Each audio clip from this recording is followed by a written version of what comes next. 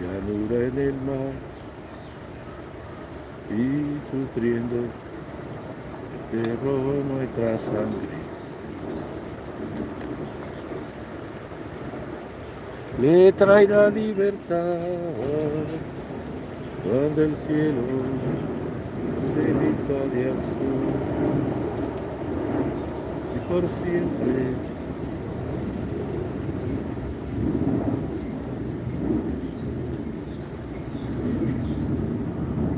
Hola. Llegó la gente, está llegando la gente. ¿Viste lo que traigo aquí? Níspero. Buenos días, Ichi Pacheco. Ichi, buenos días, buenos días, buenas tardes, presente, bendiciones. ¿Vieron lo que tengo aquí? Miren. Miren esto. ¿No le das envidia? Hola, maestro, presente, placer de ir aprendiendo. Ichi Pacheco. Buenas tardes, bendiciones. Texas saluda la gente de Texas. La gente del petróleo, por allá hay un lugar que se llama Odessa. ¿Vieron qué maravilla lo que tengo aquí? De mis matas, mira. No les puedo dar, pero los hice para que recordaran y a la vez darle envidia. Son nísperos, muy buenos, muy ricos. Eh, hay, hay nípero, nípero, sí, para comer desde California para usted nuestro abrazo de mis hijos, nietos míos, bendiciones. Gracias un abrazo por allá para la gente del Estado Dorado. Buenas bendiciones abajo la tiranía, buen día. Abajo Mónica Cortés. Mónica, buena, ¿cómo estás? Hay una mosquitera en esta república del mundo. Tengo una, cantidad de mosquitos y tengo una cantidad de humo, 36 personas conectadas. Mira, qué maravilla, mira. Saludos desde Potsdam, Alemania. Eh, Potsdam, eh, ahí fue la conferencia, pero la conferencia no fue en Polonia, eso no está en Polonia. Potsdam, Alemania, o Alemania se la quitó a Polonia en la Segunda Guerra Mundial, porque yo, recuerdo que creo que era en Polonia, ¿no? Pero bueno, de todas maneras, eh, rectifican, cada día crece mi amor por mi pueblo, por nuestro pueblo, ojalá que siga creciendo, 38 personas conectadas en vivo. No, la conferencia de Potsdam es correcto, exacto. Sinceramente usted es el hombre clave para nuestra patria, usted es el elegido, bendiciones. Somos muchos, pero gracias por esa deferencia y ese aprecio. 43 personas conectadas. ¿Vieron el smoking que me puse? ¿Eh? Es para despistar a los comunistas. Porque tú no puedes darle la verdad nunca al enemigo. Yo, yo los cojo y los meto en ceniza, en ceniza y después los maduro. Sí, señor. Sinceramente, usted es el hombre, botín de guerra posta. Eh, ¿Dónde tú estás, Ramón Benítez? Eh, eh, en Roatán, una isla cerca de del mar en, Honduras. Usted los hace sufrir. Que sufra, el comunista no sabe nada. Y, y la que le traigo hoy a la gente, ¿qué nos recomienda usted para los que vivimos en la ratonera USA para salir esos temas los vamos a ir hablando más adelante. Cuando tenga 60 personas conectadas, tengo 47. Hoy vamos a echar a correr a los comunistas de aquí a muchos mitos del comunismo. Como había níspero en la finca de mi abuela. ¿Tú sabes para qué los cortaron? Para hacer ladrillo. Saludos maestro, le queda bien esa camisa. Gracias, Kelvin. Oiga, Kelvin, tú eres el dominicano. Rosanita, apareciste, pero no me escribiste nada. ¿Qué nos recomienda usted? Saludos, maestro. Kelvin, tú eres el que está en, Dominicana. Por aquí en Europa le queremos conocer cómo podemos ponernos en contacto. Más adelante nos ponemos en contacto. Tírale con fuerza y con todos los hierros. Vamos a ver si trato porque están haciendo unas reparaciones ahí en la calle. Y hay muchos trabajadores de Jamaica en esta zona y vamos a ver qué pasa. ¿Cuándo vas a entrar a liberar a Cuba, eh, Ramón? Ramón, eh, vamos a ir hablando de ese tema. Hola, Capucha, estás hablando la verdad, amigo. Ponlos a correr, ¿verdad? La camisa elegante. Elegante, me la regalaron en Hawái. Alguien me la trajo de allá. 54. ¿Sabes que en la zona de Guatemala se hacía una camisa muy buena? Que la maquiladora china se acabó. Eran las famosas yucatecas, muy lindas aquellas camisas. Acabaron con ellas, 52 personas. No quiero, te quiero capucha, a Rosanita Lopeza. Eh, Rosanita, un día nos vamos a sentar a tomarnos un café. Igual que con Angélica, saludos hermanos desde Lutzville, Kentucky. Necesitamos mucho con sus pensamientos. 54 personas. Eh, no le da envidia a los nísperos, ¿no? Ven los nísperos, qué, qué lindo. No le da envidia.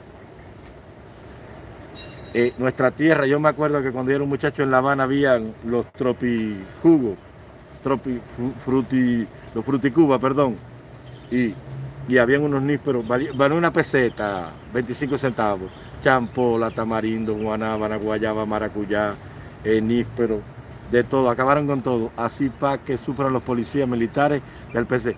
Eh, tú eres de Puerto Rico que me dijiste pa o pai, 62 personas conectadas, sábado, una pregunta histórica en una inteligencia artificial. Sí, el otro día vi una inteligencia biónica y Martí está claro que sí, claro que sí se puede hacerlo. El otro día lo vi que reconstruyeron la, la figura histórica del maestro y abría los ojos y hablaba y todo. Sí se puede hacer y se le puede meter el pensamiento a Martí también. Hola, gran estadista. Gracias. Oiga, usted con Angélica, Emilia y otros más, pues a mí me encanta la cocina y hacer buena carne. Esta es eh, eh, Roatán, ahí estuve, tiene una geografía parecida a Boey, arriba. Eh, son islas, son islas en medio del mar. Es la zona turística de Honduras, muy bueno. Gente, mucha gente del Caribe, de Jamaica, se habla mucho inglés, se trabaja, se desarrolla mucho, la gente trabaja mucho, hermano. ¿Cuál es? ¿Qué me dijiste? ¿Qué, árbol es? Esto, esto es un Hawái, de donde nuestro querido comandante jefe firmó la ley de reforma agraria que nos hundió. ¿Qué crees de Tampa hoy? ¿Viste la última delincuente del 69 en Cuba con la bandera puesta repartiendo dinero? ¿Cuál es el delincuente? Ese no sé cuál es. A los esclavos. ¿Hasta cuándo tanta humillación al pueblo de Cuba? ¿Viste la última delincuente del 69? usted es la enciclopedia cubana, no castriana. Eso de Martí hablando lo hice yo, pero me critican porque tienen los ojos azules. ¿Que Martí tenía los ojos azules? Martí tenía los ojos azules. Cuando Jiménez Sandoval le dan la orden de que Martí había caído al suelo, al abrir los ojos, Martí abre los ojos y dice tenía unos bellos ojos azules que miraron por última vez la tierra cubana y se cerraron para siempre. Martí tenía los ojos azules, no le da caso a la gente. Pregúntale a la capucha, los comunistas no saben nada. Hermano, un saludo grande. Aquí estoy con mi amigo, el, el conde de Montecristo, el conde de Alberto Montego el tesoro de los Borgia, de la isla de Montecristo. Sí, señor. El hombre que estuvo 13 años en el castillo de I. El hombre de, Monseñor Morrel, el dueño de la naviera, el, el novio de... ¿Cómo se llamaba la muchacha? Que Montego se la quita al militar español. ¿Cómo se llamaba ella? Leía el conde de Montecristo cuando era un niño. Hoy esto promete. Oiga, gracias, quería me respondiera eso de los ojos. No te preocupes, Martín tenía los ojos azules. la, gente no sabe nada, pregúntale la capucha. Y si no al doctor Gustavo León, que es mi maestro y sabe más que yo, 69. Miren, hoy esto promete. ¿Qué hago con los pero ¿Los escondo para que la gente no los vea o los dejo aquí? No, los voy a quitar. Alberto Monte. Mercedes se llamaba la muchacha, exacto. 74 Mercedes, exacto. Soy de un proyecto de gobierno solucionando oportunistas. Quisiera saber qué opinión, cómo se lo puedo mandar. Eh, en estos días, ayer alguien me escribió y me dijo que necesitaba eh, personas que me ayudaran. Yo necesito crear un equipo de trabajo más adelante, pero por ahora no quiero forzar a la voluntad de la gente. Yo necesito personas que transmitan mi verdad para luego que yo tenga ya personas aquí entonces, empezar a armar, no se me, no se me alteren que lo que llevamos aquí es apenas una semana transmitiendo en vivo y les agradezco el interés a todos. Hoy en Tampa están reunidos dos influencers. ¿Qué cree usted que puedan resolver? Ese es un principio, buen principio. Ese es el principio. Ellos, ellos están oyendo y captando el mensaje. Eh, eh, la capucha suena más que los muñequitos de matanza en el barrio de Pastorita, ellos lo saben. Entonces, ellos no son bobos. Dios te dio un cerebro para albergar mucha historia. Saludos. Cuenta conmigo, soy joven y no sigo personas, sigo ideas. Las ideas no se matan. De, esa, de eso vamos a hablar ahorita. 76 personas conectadas. Dígame, está cantando una, un sinsonte, sí, sí, un sinsonte. Sin ti no podré vivir jamás. Esas canciones las cantaba mi abuelita, mi abuelito Bartolo, porque Bartolo era muy faldero y entonces ella lo veía debajo de aquel algarrobo donde ella lavaba y los sinsontes revoloteaban así como aquí y cantaba esa canción. ¿Qué te importa que te ame si tú no me quieres ya? De Isolina Carrillo, 20 años, porque Lágrimas Negras era de, no me acuerdo ahora, yo sí sé que esa era de Isolina Carrillo. 80 personas conectadas, bienvenidos, gracias por venir, gracias por estar ahí. Qué lindo suena el sinsonte. Qué buenos recuerdos, seguro.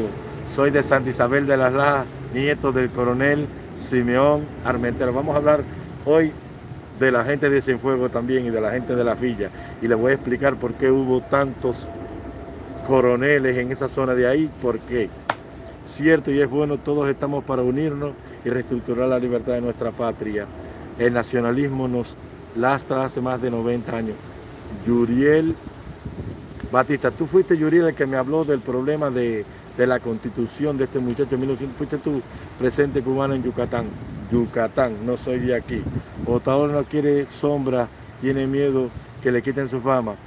Eh, Otaola es un mal necesario para la causa de Cuba. Déjalo ahí. Él solo entrará como el ganado rebelde por la corraleta cuando vea que se le está acabando la hierba, la miel y el agua. Tranquilo, no te preocupes. Eh, 86 personas conectadas, 91 personas conectadas.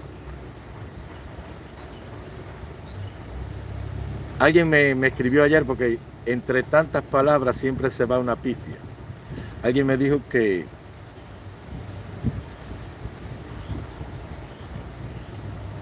que la muchacha de la Lisa, que, que no era el padre Sarría, sino Sardiña, sí, era Miguel Sardiña, que fue comandante del ejército rebelde Después lo leí y lo rectifiqué, porque es que se me van las cosas. Él era comandante del ejército rebelde, estuvo 18 meses en la comandancia general y bajó con la sotana y el grado de comandante del ejército. Murió con 65 años en La Habana, sí. Un análisis tuyo sobre Truslot, saludos, bendiciones. Él está soberbio y a Dios no le gustan las formas poseídas. Dice la Biblia que Dios castiga al soberbio lo único que podemos hacer es pedir a Dios para que tenga misericordia de los soberbios. Te estoy esperando desde horas tempranas para escuchar tu magistral clase de luchar contra la tiranía. 103 personas conectadas. Arranca la historia de hoy. No le hagas caso a los comunistas, hágale caso a la capucha, que la capucha sabe. La historia que, eh, o sea, la parte de la historia de Cuba que te voy a contar hoy, es uno de los problemas que desune más a los cubanos de todos los tiempos.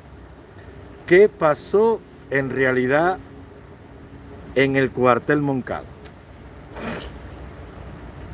Porque la gente dice que Fidel fue un pendejo que no peleó, que si lo protegió Mirta Díaz Valar, su, su mujer, que si el dinero de Batista lo salvó. Todo eso fue más o menos así, pero eso hay que concatenarlo. ¿Qué sucedió? La inconclusa revolución de 1932, aquella que fue la rebeldía de los hombres que venían del inicio de la República, de todos aquellos que sufrieron los desmanes de la guerra de la Chambelona, donde mataron a los negros allá en Guantánamo, que el hijo de Martí, como te dije ayer, se vio involucrado. Eh, la corrompida administración de José Miguel Gómez, la renuncia de Estrada Palma, el olvido al que fue sometida la población negra cubana que no tenía nada, no la que participó en la guerra, porque esa sí recibió la compensación que dio el gobierno militar norteamericano, sino aquella esclava que no peleó, que terminó de liberarse cuando la guerra empezaba o acababa, que no tenía ningún futuro. Todos esos problemas sociales se fueron acumulando desde el inicio de la instauración de la República. La República había nacido débil porque un apéndice constitucional, que fue la enmienda Pla, de aquel famoso senador norteamericano que no estuvo de acuerdo, porque el pueblo de Cuba quería la independencia total y ya ellos le habían tirado un cebo. con aquellas reformas que hizo Leonardo Gut, donde te dije que trajo el ganado, los aperos de labranza, las aves de corral, desde un quiquere hasta un ganso y una boca, porque todos los mambíes en la guerra y los españoles se lo habían comido. Después de la muerte de Martí y en los últimos días ya en que la guerra estaba por terminar, los españoles eran dueños de las ciudades y los mambises de todo el campo cubano. Pero la guerra no terminaba porque España, en la mentalidad del gobierno de Isabel II y de Primo de Rivera, decían que en Cuba iban a estar hasta la última peseta y el último. Entonces todos esos problemas se acumularon. Terminó la guerra, los americanos intervienen con la única intención de quedarse con Cuba, porque ya habían, hubo dos intentos en el pasado y España nunca quiso y después con la ocupación inglesa como te conté ayer. ¿Qué sucedió?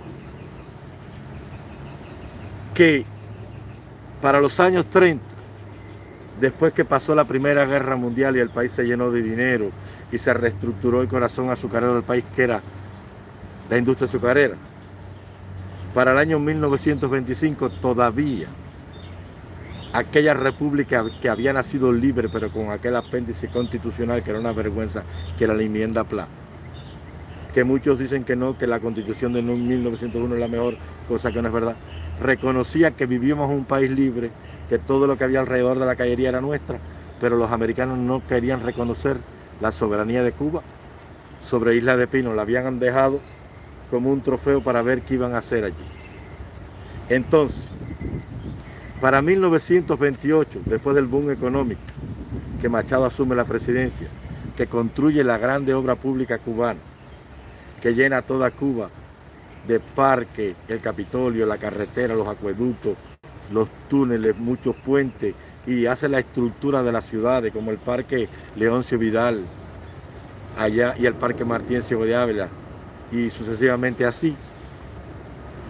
Él cogió y tuvo una forma de gobierno donde la honestidad fuera el legado histórico que le iba a dejar al pueblo de Cuba. Pero los gobiernos anteriores, con Sayas y Menocal, se habían hecho ricos. Y las personas que estaban con estos gobiernos le decían a Machado que todo el mundo se fue rico y él no tenía, ellos no se iban a ir sin nada. Entonces Machado, con el apoyo de Oreste Ferrara, un hombre que había en el Senado de la República, muy bueno,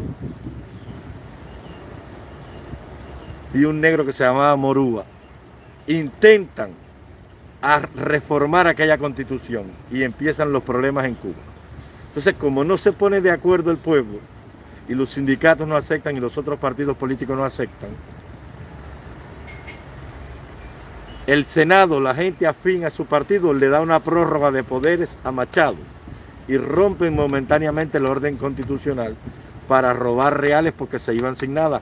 Todo el mundo se iba rico y ellos se iban sin nada. Y en ese contexto histórico, los sindicatos de Cuba con la Confederación Obrera de Cuba, en los días que hacían la huelga, ¿tú no te acuerdas un muñequito que daban en Cuba de la merienda de los pioneros, donde salían? Eso, eso es dentro de ese escenario. Dentro de ese escenario,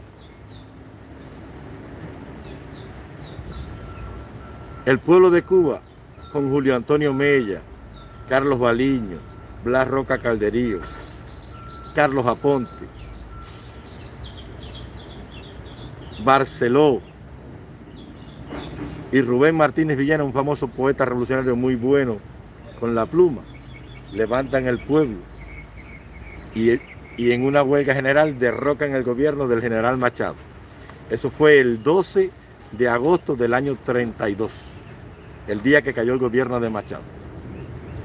El pueblo fue a matarlo a Palacio, él cogió una, una, una Thompson, le cayó a tiro, mató como 60 personas, se fue para Colombia, cogió un avión militar y Rolando Manferrer, el célebre de los gallos de los Tigres de Manferrer en el Batistato, fue hasta Colombia a matarlo y ahí le dio un tiro y Mafarré le dio un tiro y llegó a Cayo Hueso en la Florida herido. El general Machado murió, está enterrado en un cementerio de Miami, un tal Wolfland, no sé qué cosa, de los Caballeros Rivero o algo así. Él, él es el último general de nuestra guerra que llegó a presidente. De ahí para allá, gobierna un coronel del ejército 24 horas y nombran al día siguiente, lo juramentan Carlos Elvia y Pedro Carbó. No Carbó servía el que muere allá en Humboldt 7, sino Carbó, otro Carbó, que luego forma la llamada pentarquía con otras personas, un gobierno de cinco días. Y entonces en ese contexto histórico, asume al otro día la presidencia de la República Carlos Manuel de Céspedes y Quesada, hijo de Carlos Manuel de Céspedes, que era sobrino de Manuel de Quesada, aquel famoso patriota villareño, que fue a socorrer a Vicente García en la toma de las Tunas al inicio de la revolución de Guaymar. Una hermana de él estaba casada con Ignacio Gramonte, el padre de la patria. Y entonces ese niño es sobrino de Quesada, el cuñado de Carlos Manuel, que fue en los días de Machado el que asume el gobierno provisional del país porque era el presidente del Senado. Y la constitución de 1901 decía que en ausencia del presidente y el vicepresidente, entonces el presidente del Senado, que era unicameral, tenía una sola cámara, tomaría la presidencia de la República hasta que se convocaran elecciones generales. Pero en esos mismos días donde este hombre asume la presidencia, hay un accidente en Cuba, en, Santa Cruz del Sur, Camagüey. Un ras de mar barrió toda la costa en un rango de 15 kilómetros y mató 3.005 personas y lo único que sobrevivió fue un niño en el campanario de una iglesia. La nación entera se conmocionó, multitudes acudieron allí y cuando le piden al gobierno para enterrar los muertos, no hay un centavo en el erario público. Machado y su gente se lo habían llevado todo por esa prórroga de poderes que el Senado le dio para intentar reformar la constitución, cosa que no se logró. Entonces, el 13 de septiembre del año 33, por ese mismo problema y por una vindicación histórica, los sargentos y las clases, soldados y sargentos, dan el llamado golpe de, Estado del 13 de septiembre del 33, que se conoce en Cuba como el golpe de los sargentos. Batista, Pedraza, Miguel Hernández, Pablo Gómez, que son los principales cabecillas, se hacen con el poder militar y derrocan a la oficialidad. Aquella oficialidad que era como el hijo de Martí, porque el grado más grande que había en el país hasta ese momento era coronel del ejército. Era el grado constitucional que tenía Cuba. ¿Y qué sucedió? Que se adueñan del poder y hay unos amotinados que se meten al castillo de la tarea, ya los cañonean, y otros en el Hotel Nacional, y allá con cañones barren toda la parte del Hotel Nacional que da para la zona de la Piragua, y matan un poco de gente, y se forma una comancola enorme en el país, y entonces llaman un gobierno provisional, que lo va a encabezar una pentarquía de cinco personalidades públicas en el país. Con el profesor Ramón Grau San Martín a la cabeza, el hombre que en el 44, por el Partido Nacional Cubano Auténtico, Partido Revolucionario Cubano Auténtico, asumiría el periodo 40, 44, 48 después de Batista. Un solo periodo porque la constitución decía que se podía gobernar un solo periodo y podías aspirar a la presidencia y a competir después de pasados ocho años del mismo periodo. Entonces, se hace una pentarquía de gobierno, cinco personas van a gobernar. Ramón Grau San Martín, Federico Laredo Bru, Porfirio Franca, José María Irizarri y Domingo Portela, cinco personas. Ponen un gobierno, pero la pentarquía no resuelve el problema de Cuba y cae rápido. Entonces forman otro gobierno, el llamado gobierno de los 100 días donde Ramón Grau San Martín es presidente provisional y pone un ministro de gobernación y hacienda en Cuba, que fue, que fue Antonio Guitera Solme, un patriota santiaguero que usaba un sombrero como Augusto César Sandino, que había protagonizado una rebelión militar en un pueblo que se llamaba San Luis en Santiago de Cuba. O el Cristo, si mal no recuerdo, en 1911 o algo así.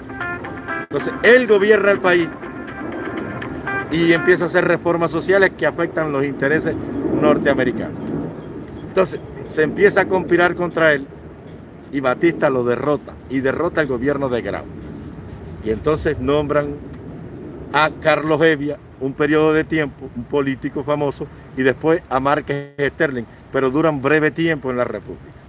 Hasta que se hacen unas elecciones media fraudulentas y Carlos Mendieta asume el gobierno de la República en el año 34.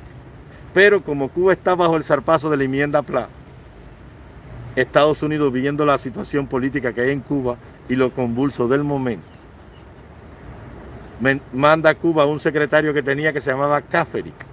Entonces hacen un triunvirato de gobierno como aquel que hicieron Craso, Pompeyo y César en la Roma antes de la guerra civil, cuando César cruzó el Rubicón, que tuvo la, famosa batalla de Farsalia allá, que, que, mató a Pompeyo después que se refugió en Egipto huyendo, en los días que César conoce a Cleopatra, para que vayan los que saben de historia sabiendo cómo fueron los sucesos y qué cosa es un triunvirato. Y gobierna Batista Mendieta y Caffery, un gobierno desde Colombia militar, un gobierno desde Washington por la intromisión de la enmienda PLA que está vigente en Cuba y un gobierno títere con Carlos Mendieta. Ponen tres, cuatro gobiernos más. Y el país vive una situación política terrible. Los líderes sindicales nacen ahí, casi todos los linchas. Por allá sale Niceto Pérez, líder de los cafetaleros de Guantánamo. Margarito Iglesias por acá. Eh, el, general de las cañas Jesús Menéndez Larrondo. Eh, Blas Roca Caldería, Lázaro Peña. Todos estos comunistas que tiempo después morirían y serían un símbolo, un pedestal de lo que Fidel utilizaría para tenerlo como ejemplo de lo que fueron las luchas de clase en aquel gobierno malo que ellos derrotaron. Y bajo ese programa, esa inconclusa revolución que intentó hacerse allí en los 30, la República llega herida de muerte con todos esos problemas sociales hasta el año 1939, desde donde han pasado 5 o 7 presidentes que no duraban ni un día ni 11 meses. Entonces, el país está viviendo los momentos de la crisis, de, la gran depresión aquella que empezó en Estados Unidos cuando gobernaba Roosevelt, llamado Viernes Negro, si mal no recuerdo. Son muchos datos. Pero Batista, como está en medio del ejército, convoca un pacto político en el Guajay. Los comunistas están jodiendo. El Partido Comunista que tenía la herida de Mella y de Villena, porque Machado había mandado a matar a Mella ya porque Mella un, tiempo antes había estado en una huelga, es ese pasaje de la historia de Cuba donde Villena va a verlo y le dice, ¿qué es lo que pasa? Que usted no suelta a Mella. Y Machado le dijo, no suelto porque no me sale de los cojones, porque yo mando aquí. Y él le dijo, usted lo que es un asno, un asno con garra. De ahí es donde viene la frase, el asno con garra. Y entonces, Batista viendo lo que hay, que ya Carlos Evia y Márquez Esterlen le habían dado el grado de general, de mayor general del ejército, pero primero se lo habían dado de coronel. Porque cuando vino el embajador Summer Wills en el momento ese de la revuelta, del golpe, de la caída de Machado del 13 de septiembre del 33, viene Wills con un acorazado y 14 mil marineros o marinos, como dijo Pei Garrido, da lo mismo que sean marinos, marineros, navegantes, polizontes, venían en un acorazado de guerra y amenazan con invadir a Cuba porque la enmienda PLA, aquella herida de muerte, la puñalada trapera del apéndice constitucional que nos robó Guantánamo, que nos quería robar Bahía Honda, Bahía de Nipe y Bahía Cienfuegos y que no nos reconocía Isla de Pino, ahora venía a invadir Cuba nuevamente. Y Batista, que era pro anti-norteamericano total, se va a entrevistar con él para decirle que está al control de los problemas de Cuba. Pero cuando le dicen a Somerville quién está a cargo, le dijeron un sargento y dice, no, yo no me entrevisto con sargento. Y automáticamente Carbó le pone los grados de coronel del ejército. Dijo, a partir de ahora usted es coronel. Así fueron todos los sucesos de Cuba. Créele a la capucha, que es como la capucha te dice. Los comunistas no saben nada. Díaz Canel no sabe nada. Los generales de la seguridad que están viendo ahí, ellos no saben nada de eso. Los chivatos no saben nada. La capucha sí. Porque la capucha tiene el testimonio oral, el escrito. Hice entrevistas, conocí a los protagonistas y he leído la historia que han escrito afuera, la que ha escrito la Internacional Socialista, los que han escrito los conservadores, como Oscar Pino Santo, un buen historiador mexicano, y también he leído lo que, lo que escribió la revista Verdiolino, el gran Juventud Rebelde Trabajador, yo lo he leído todo. Entonces, ¿qué sucedió? En medio de, de toda esa convulsa situación social, la República llega hasta el año 39, fecha en que asume el gobierno un hombre muy bueno, que había estado allá en la Pentarquía, se llama Federico Ladredo Bru, un caballero. Y el hombre comienza a hacer programas sociales. Reconoce la jornada laboral de ocho horas, el pago de un peso al día al trabajador agrícola, la licencia de maternidad, la jubilación, la, la ley 50-50, donde para estar en una escuela 50% tenían que ser niños de la raza negra y 50 blancos, si no, no podía haber escuela y la misma cantidad de empleadas femeninas y empleados masculinos en una escuela, es digo, en un centro de trabajo. Ahí se logran las luchas sindicales y ahí se crean los cimientos para dar lugar a una asamblea constituyente que convoca a Batista en el Guajay, ahí en La Habana. El Guajay está, si mal no recuerdo, por el Caballo Blanco, por ahí cerca del auto, en Luyano. Por ahí está, por la Loma del Zapote. No sé muy bien, no me acuerdo mucho hace muchos años no voy a lavar. Y convoca a todas las facciones políticas a un pacto político como tiene que hacer hoy el exilio, para acabar con todo eso. Y ahí llevan a un pacto y, y crean los cimientos de una asamblea constituyente para reformar aquella constitución de 1901 que tantos problemas había traído, porque los comunistas ya eran parte de la sociedad, y entonces querían un lugar en la vida política para competir por el poder. Pero aquella constitución conservadora no se los permitía porque no era progresista. ¿Y qué sucedió? Que Batista ordena que se haga una junta de las mejores personas de Cuba y se convoca una asamblea constituyente para redactar una constitución con un lema grande en el Capitolio Nacional, un cartel que decía por todas las partes del Capitolio desde Industria hasta San José, Prado y Dragones. Los partidos fuera, la patria dentro. Esos eran los carteles de, que cubrían el Capitolio Nacional y el Gobierno Nacional de la República allá en Palacio, en Avenida Las Misiones, por ahí Surueta. No como hoy, que en cada cuadro un comité y en cada barrio revolución, Cuba por barrio, barrio por pueblo, la vanguardia va al comité y Fidel es lo mejor. Era un sentido de patriotismo y se junta todo el mundo ahí. Y después de 50 días de estar discutiendo, nace la gloriosa constitución del 40. Batista se postula a las elecciones por el Partido Liberal Cubano y sale presidente de la República. Creo si era el Partido Liberal, no me acuerdo, son muchos datos, perdonadme si me equivoco en algo. Es demasiado, soy un ser humano. Pero los comunistas no saben nada y llega a la presidencia de la República y gana con una mayoría arrolladora. La etapa convulsa del 30 al 40 ha pasado y el país comienza un don de paz, de concordia y de crecimiento económico como nunca antes ha visto ni verá jamás la sociedad ni la nación cubana. Gobierna 40-44 en el periodo en que el mundo se mata por la Segunda Guerra Mundial, en que Hitler como un dragón que escupe fuego, se está comiendo al mundo.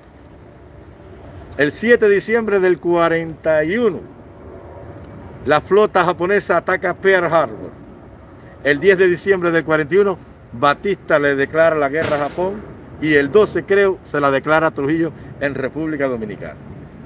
Y entonces los americanos hacen la llamada Conferencia de las Américas y llaman a todos los gobiernos a una conferencia en Washington para buscar todos los recursos de América, todas las materias primas y toda la ayuda diplomática y militar para preparar el continente por si acaso los, los alemanes ganaban allá y venían a pasar violando la doctrina Monroe, aquella que decía que América era para los americanos. Y todos los gobiernos se ponen en función.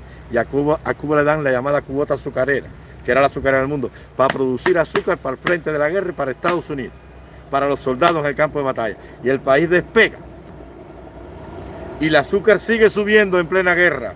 Y Estados Unidos pagando con bonos y, el país gastando el crédito y el país crece, hay un boom económico de construcción de carros y la nación crece y los pueblos se expanden y se expande el ferrocarril y el país está viviendo la edad dorada de su historia. Y en el año 44, un año antes de que terminara la Segunda Guerra Mundial, extingue su periodo y él se va porque Grau San Martín lo derrotó, el profesor universitario el de la pentarquía, el del gobierno de los 100 días que él derrotó, aquel que tenían a Julio Antonio Mella, digo, Antonio Quitera Holme, que no quiso aceptar el derrocamiento de Batista en el gobierno de los 100 días y formó una alianza clandestina en Cuba que se llamaba la Joven Cuba y se viró y por allá por el Morrillo en Matanza el ejército Batista lo cazó y lo mató cuando iba rumbo a México. Entonces, pierde las elecciones, o sea, no se puede postular porque era un solo periodo. Para volverlo a hacer tendría que esperar que pasaran ocho años. Y ahora es donde va a entrar en operación todo lo que viene después para que, para que entendamos lo que ha pasado. ¿Qué sucedió? Que Grau cuando llega a la presidencia, como todo gobierno que llega, empezó a hacer cambios en la estructura militar del país y política. Entonces, Batista se entrevista con él y le dijo, tú no vas a tomar represalias contra mí por lo que pasó en los 30, perdón. Y Grau le dice, yo no te voy a hacer nada, pero no te puedo proteger de mi gente que sí te tiene mala voluntad. Yo te recomiendo que te vayas. Y Batista compra la, la playa de Daytona Beach ahí en la Florida, un pedazo de playa, y se va. Se va. Crescencio Peraza, exactamente. Gracias por esa contribución. Se va. Y está ocho años fuera del país pero ocupa un cargo en ausencia en el Congreso de la República por su partido. Gusano de Orlando, Florida, muchas gracias. Libertad para mí por tu contribución. Gracias, mi hermanito. Ocupa un escaño en ausencia. Después que Prio pierde, viene su compañero de fórmula. Digo, de que Grau pierde, viene Prio y ahí viene el famoso problema aquella de la corrupción de la mareta de Aureliano, el ministro de Educación, Mendoza, y aquella desgracia que vino a Cuba. El gobierno más corrompido, el de un tonto pinareño, como decía. Y el país se hunde de nuevo en un caos sociopolítico. Y aparece la figura de Edith Chivas, un político ortodoxo que viene de Santiago de Cuba barriendo para acá, cuyo lema era una, una escoba cuando subía a dar una arenga pública a cualquier lugar del país Decía, esta escoba es para barrer las cucarachas, la basura, las cucarachas, la basura y los males de la República, porque lo mío es vergüenza contra dinero. Y todo el país se enamoró del hombre. Pero él acusa al ministro de Educación que se había robado el dinero, la famosa maleta de Aureliano. Como no se lo puede probar porque no tiene fuerza, Aureliano lo combina, le dice, ¿dónde está la prueba? Como no la tiene, que por cierto hoy no se sabe si esa maleta era verdad o no, porque el ministro de Educación era un hombre muy íntegro, según años más tarde se ha estudiado. Lo que pasa es que en ese momento la información era muy oscura. Y como era un hombre de mucha vergüenza, está dando un discurso en una emisora de radio, si mal no recuerdo, estaba por la sortija ahí en La Habana. Y se dio un tiro con el revólver debajo de la tetilla y está grave y después muere. Y eso conmocionó a la nación. Y todo el país entendió la grandeza de aquel hombre que se había sacrificado por el pueblo. Entonces el Partido Ortodoxo, muchas gracias Hidalberto Madrazo por tu contribución, gracias por tu super chat, gracias hermano mío. Entonces el Partido Ortodoxo se convierte en lo popular de la nación y especialmente de la juventud. Y ahí es donde nuestro invicto querido y siempre recordado, el caballo que más sabía, ingresa a la juventud de ortodoxo, que él viene de la universidad de servidero social y que si la gente me pregunta que si era pandillero. Era pandillero, él era un pandillero todo, porque la moda de la época era andar con un sombrero tipo Al Capone, con una tonso, mm, matando y embarrilando porque era un muchacho. Es como hoy que se llenan de tatuajes los muchachos y se ponen los pantalones a media nalga. Gracias por estar ahí. Sí era pandillero, pero era un muchacho. Aunque para ser bandido no hace falta ni edad. Él era bandido en esencia de que era un muchacho. Y Eddie se da el tiro y su compañero Ramón Agramonte Pichardo se convierte en la figura popular. Entonces Batista vuelve a Cuba porque ya han pasado ocho años desde que él pierde el poder. Él se fue en el 44, está ocho, viene en el 52. El 11 de junio del 52 se iban a celebrar en Cuba las, las elecciones generales. Y él viene por el Partido Liberal Cubano a competir contra, contra Carlos Evia por el Partido Auténtico Nacional y contra Ramón Agramonte Pichardo por el Partido Ortodoxo de Eddie Chivay que se dio el tiro. Pero una editorial que se llamaba La Galuto en Cuba hace una encuesta y, y, revela que él es el candidato de menos posibilidad para ganar, porque tiene el tercer lugar. Entonces él hace una reunión secreta con Blas Roca Calderío. Eh, muchas gracias, Gusano Orlando, por tu contribución. Con Blas Roca Calderío, el papá de Vladimiro Roca Calderío, el que el comandante enterró allá en el Cacahual para profanar la tumba del más grande guerrero de nuestra tierra, Antonio Maceo, como te dije allá junto a Juan Fajardo Gómez. Y así habla con Blas y le dice, mira, yo legalicé el Partido Comunista aquí. Yo necesito tu ayuda porque yo fui el que te dije que le cambiaras para Partido Socialista Popular. Hace falta que tú me apoyes. Y te voy a dar favor. Y Blas le dijo, yo te recomiendo que aspires a un escaño en el Senado en presencia o en ausencia porque tú no tienes posibilidad, a no ser que tú quieras tomar el poder del país por la fuerza. Y eso va a desembocar a la nación en un baño de sangre. Y Batista se quedó callado. Y entonces llama a los hombres del 33, aquellos militares que hoy eran comandantes en el ejército. ¿A quiénes? Te voy a decir. A Martín Pérez, el papá de Ninosca Pérez a los Cañizares, los Carratalá, los Fanjul, los Sosa Blanco, los, los Meroxosa, los Sánchez Mosquera, Coronel Blanco Rick, Ventura y Novo, y a los grandes asesinos del Batistato, entre otros, y a un personaje que sería clave esencial de los sucesos que te voy a narrar de aquí para adelante. Al coronel, jefe del regimiento Antonio Maceo, de el cuartel Guillermo Moncada, que se llamaba coronel Alberto Roberto del Río Chaviano, el famoso carnicero del Moncada. En medio de todo ese escenario, el 10 de marzo del 52, todo ese grupo de gente da el golpe de Estado el país se trata de conmocionarse, pero Batista va a las emisoras, coge los micrófonos de la CMQ y tranquiliza al pueblo y dice que va a ser elección.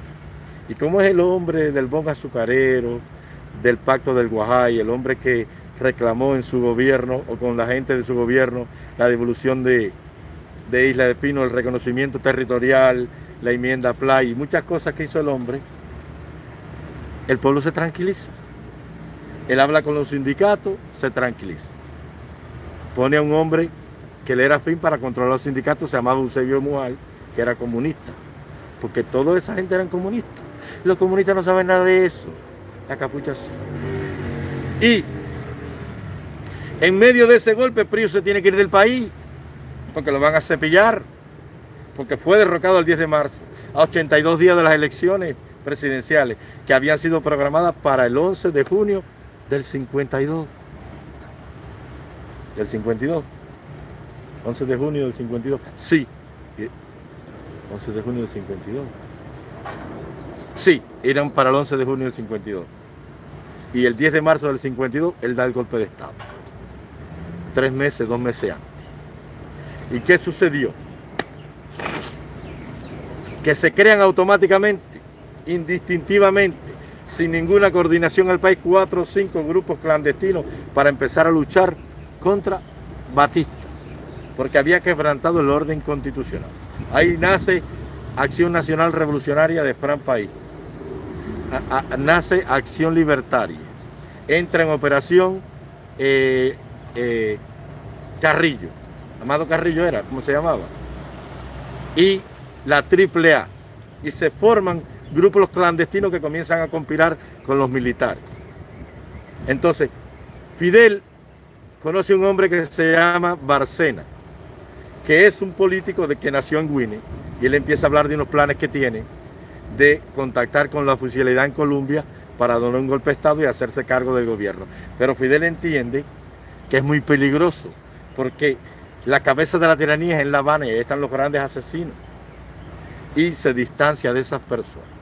En esos días en que todos esos grupos intentan sublevarse con la esperanza de que el presidente Grau mandaría armas que nunca llegaron, cogió y había un, estudiante universitario que lo querían mucho que se llamaba Rubén Batista, un muchacho jodedor que lo quería todo el mundo, y en una manifestación en las calles lo hieren de muerte, entonces lo llevan para el hospital, un hospital que en La Habana que se llama Calixto García, en la sala de, de la escuela, el hospital de escuela en Calixto García, ahí lo llevan.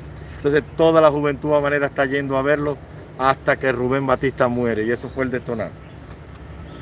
Yendo Fidel a ver a Rubén Batista, conoce a un muchacho que había nacido en las villas Abel Santa María Cuadrado. Ahí conoce Fidel Abel Santa María Cuadrado, hermano de Aide Santa María Cuadrado, la que fue novia de Boris Luis Santa Coloma, la amiga de Mel Bernal. Y Abel por un lado repartía octavillas y panfletos y Fidel por el otro lo hacía también porque Fidel venía del Partido Ortodoxo y había sido candidato a un escaño como concejal por el pueblo del Cano, que está por allá por la Lisa. Yo me acuerdo cuando yo era muchacho que iba al pueblo del Cano y veía primer pueblo socialista de Cuba. Y aquello era un, infierno ya de miseria en medio de la vara de los 80, con una cantidad de potreros llenos de tuatúa y tribulillos.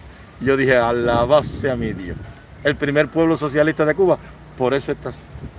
Entonces, le truncan a él los deseos de llegar a la presidencia de la República por la vía política. Entonces él se vira. Y en esos días, como él es abogado, y la constitución del 40 había creado en Cuba cinco tribunales, teníamos un tribunal municipal, un tribunal provincial, el Tribunal Supremo de Justicia, el Tribunal Nacional Electoral y otro tribunal que era el Tribunal de Garantías Constitucionales, el que velaba, un grupo de jueces que velaba para que la constitución fuera protegida. Y Fidel llevó allí una petición de que Batista y sus cómplices por haber violado todos los artículos así así, era un merecedor de mil años. Pero cogieron todo aquello, como era una dictadura, una, una dictadura militar, y se lo pasaron por la parte oscura del cuerpo donde el sol nunca ha dado. Y el tipo dijo, esto, esto es un descaro aquí, es un muchacho efervescente revolucionario, se juntó con, con Abel Santa María Cuadrado, y en esos días yendo a ver, yendo a, ver a, a Rubén Batista, el muchacho que muere en esos días, conoce una pieza clave en lo que sería la epopeya descabellada del desastre del cuartel Moncada. A un muchacho santiaguero, hijo de un comerciante santiaguero, que se llamaba Renato Guitar. Y entonces empiezan a hablar entre ellos. Él temeroso de que lo cogieran porque estaba vinculado con Barcena, que la policía abortó el plan ese que tenía Barcena de, de, dar un golpe de Estado en Colombia, coger preso a Batista, que no se pudo lograr, empezó él sin hacer detenciones y él como había tenido contacto con Barcena, temeroso de que Barcena lo vinculara, se fue para la provincia de Oriente. Y allá le encarga a Renato Vitar que haga un plano del cuartel Moncada, que estudie y espíe la rotación de las postas, la cantidad de guardias por día, y se va a La Habana y habla con Abel Santa María, lo nombra segundo jefe del movimiento, lo trata de convencer y empiezan a preparar el ataque al Moncada.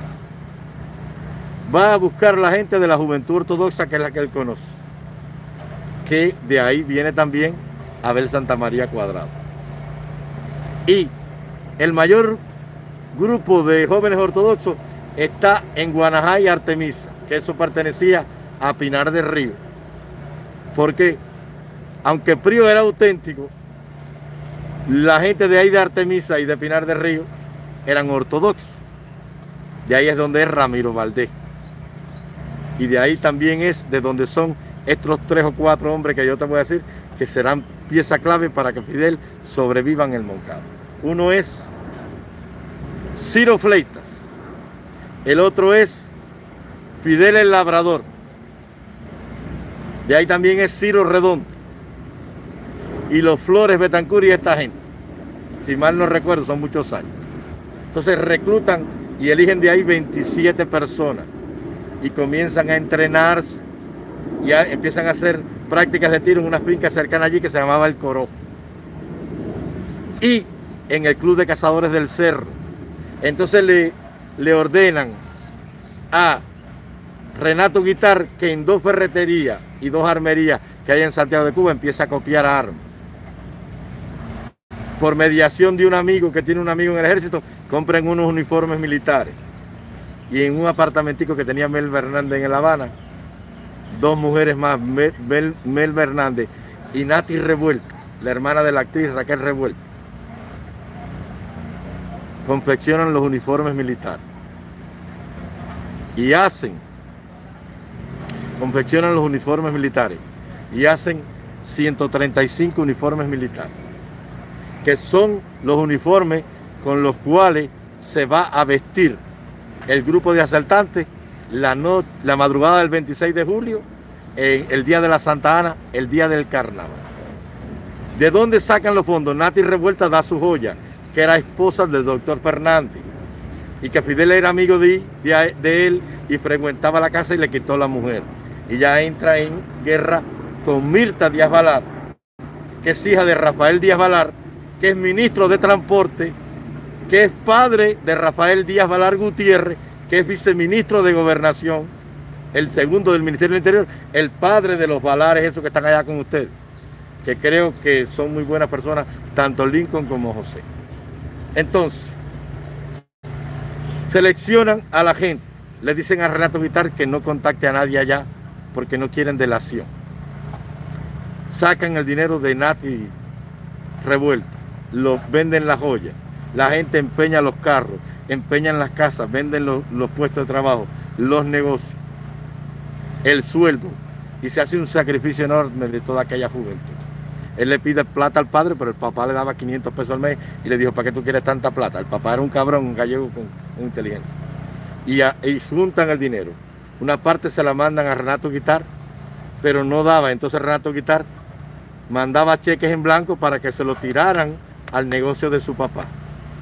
Hasta eso utilizó Renato Guitar para buscar fondos. Llegan a la granjita Siboney, preparan dos grupos.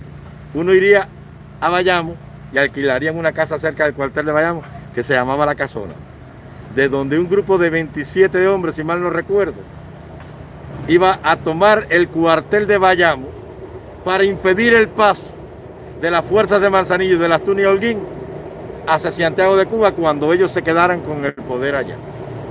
Pero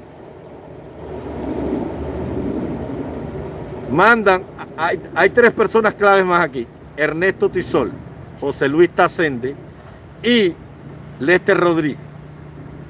José Luis Tacende, creo, si mal no recuerdo, o Ernesto Tisol, hay muchos años, rentan la granjita Simone que está como a 5 kilómetros del cuartel.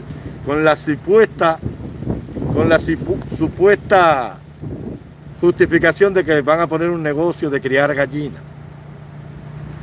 Y ahí el día 10 de julio llega Abel Santa María y empiezan a llegar los muchachos que vienen por tren, por ómnibus y se hospedan en un hotel en el centro de Santiago, Cuba, que se llamaba el Rex, Hotel Rex.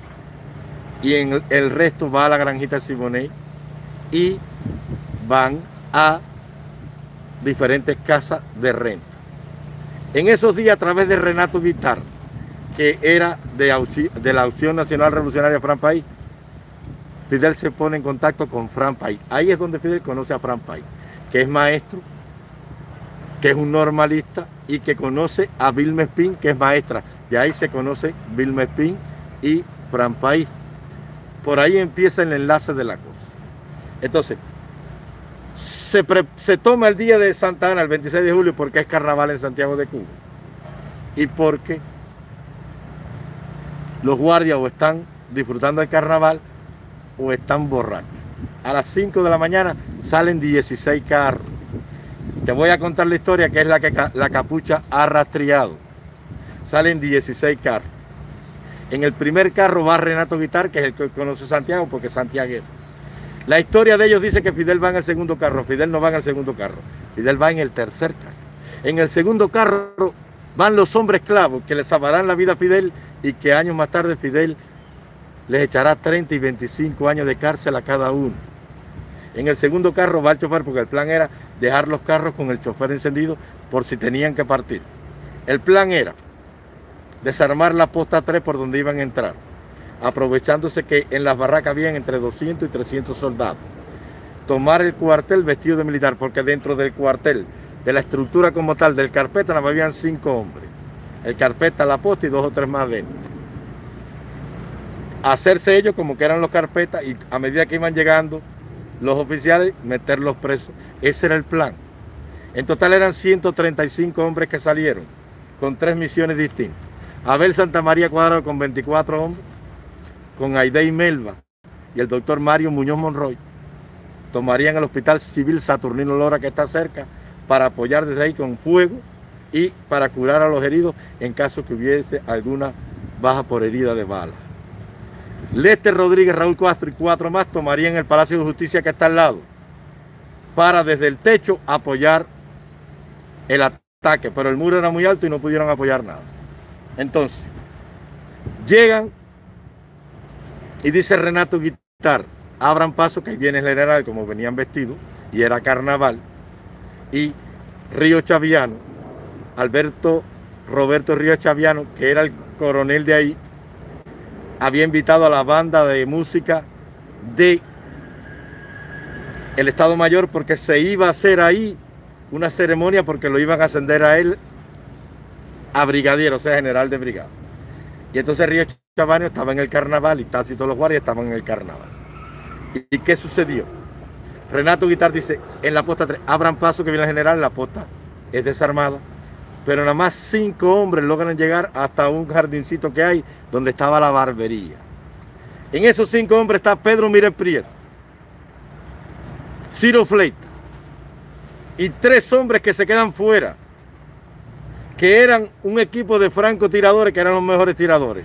El comandante Jaime Costa, que fue atacante al Moncada, expedicionario del Granma y luego comandante. Un hombre que Fidel años más tarde le echó 30 años de cárcel. Y Mario Chanes de Arm, un hombre que estuvo ahí y que estuvo en toda la lucha guerrillera y que protegió a Fidel no solamente aquí, sino cuando andaba huyendo por la loma del Caney y le echó 30 años de cárcel también.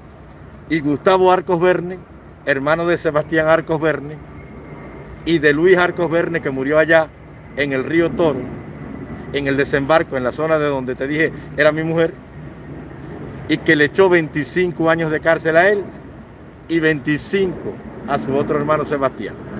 Ahora, cuando Renato Guitar tiene el carro encendido, viene una patrulla de recorrido que está volviendo al cuartel. Y en el momento en que ellos ya desarmaron a la posta, se da cuenta y Renato Guitar le tira el carro arriba. Hay un intercambio de balas y comienza el tiroteo y se pierde el factor sorpresa. Los tres que están dentro y los que están en los últimos carros, porque se perdieron eh, del carro 11 para atrás que venía Ernesto Tisol, él se desvió y como había muchas barricadas, los cuatro últimos carros se perdieron que venían con Ernesto Tisol y se perdieron 35 hombres. Al, Molcada van exactamente 70 hombres, con el grupo que va al Saturnino Lora y con la gente del Este Rodríguez que va allá al Palacio de Justicia. Y se cruza el fuego.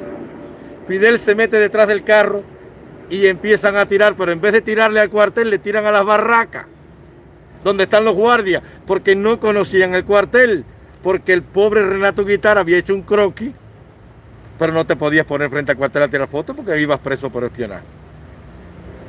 Ya en esos días el coronel Blanco Rico le habían dado una información el SIN de que se preparaba un ataque al cuartel, pero el coronel Blanco Rico creyó que eso era imposible. Finel está detrás, en 10 o 15 minutos se generalizó el tiroteo. Pedro Mire Prieto y Ciro Fleita, que están ahí, y Fidel el Labrador, empiezan a fajarse con 200 y pico guardias que vienen saliendo en calzoncillos y con el arma porque no saben lo que está pasando. Ellos creen que, los guardias en la borrachera del carnaval se están matando a tiro. Y se dan cuenta que están tirando de afuera y Fidel está detrás del carro tirando. Y está José Luis Tacende y está todo el mundo fajado a tiro limpio. Renato Guitar, Jaime Costa, está Pedro Mire Prieto, está Gustavo Arco. Y se forma el tiroteo y entre 10 y 15 minutos el fuego cruzado de los, de los rebeldes porque se formó la desbandada. Entre el fuego cruzado y el fuego amigo mató cuatro asaltantes. El fuego cruzado mata cuatro asaltantes. Y los guardias matan 10 soldados, 10 hombres de la gente de Fidel. Entonces, Fidel, dice Mario Chane que está en el segundo carro, que lo oye, retirada, retirada, retirada, un hombre detrás de un, de un, del, de la, de la parte atrás del carro donde guardan las cosas, ¿cómo se llama esa cosa? La maleta del el maletero, tirando para atrás del muro que era bajito, retirada. Y dice, ¿quién está a la retirada? Aquí el único que puede dar la retirada Fidel. dice, soy yo, Fidel, que estoy detrás de ti, vámonos, vámonos, que nos van a matar aquí. Entonces, Jaime Costa se mete para adentro, Mario Chávez se tira arriba. Y cuando van a salir, porque es una sola calle, está cerrado, se encuentran que Gustavo Arcos Verne está en el suelo tirado con un impacto de bala en el pecho. Salen Jaime Costa y, Mario Chani y lo tiran para adentro.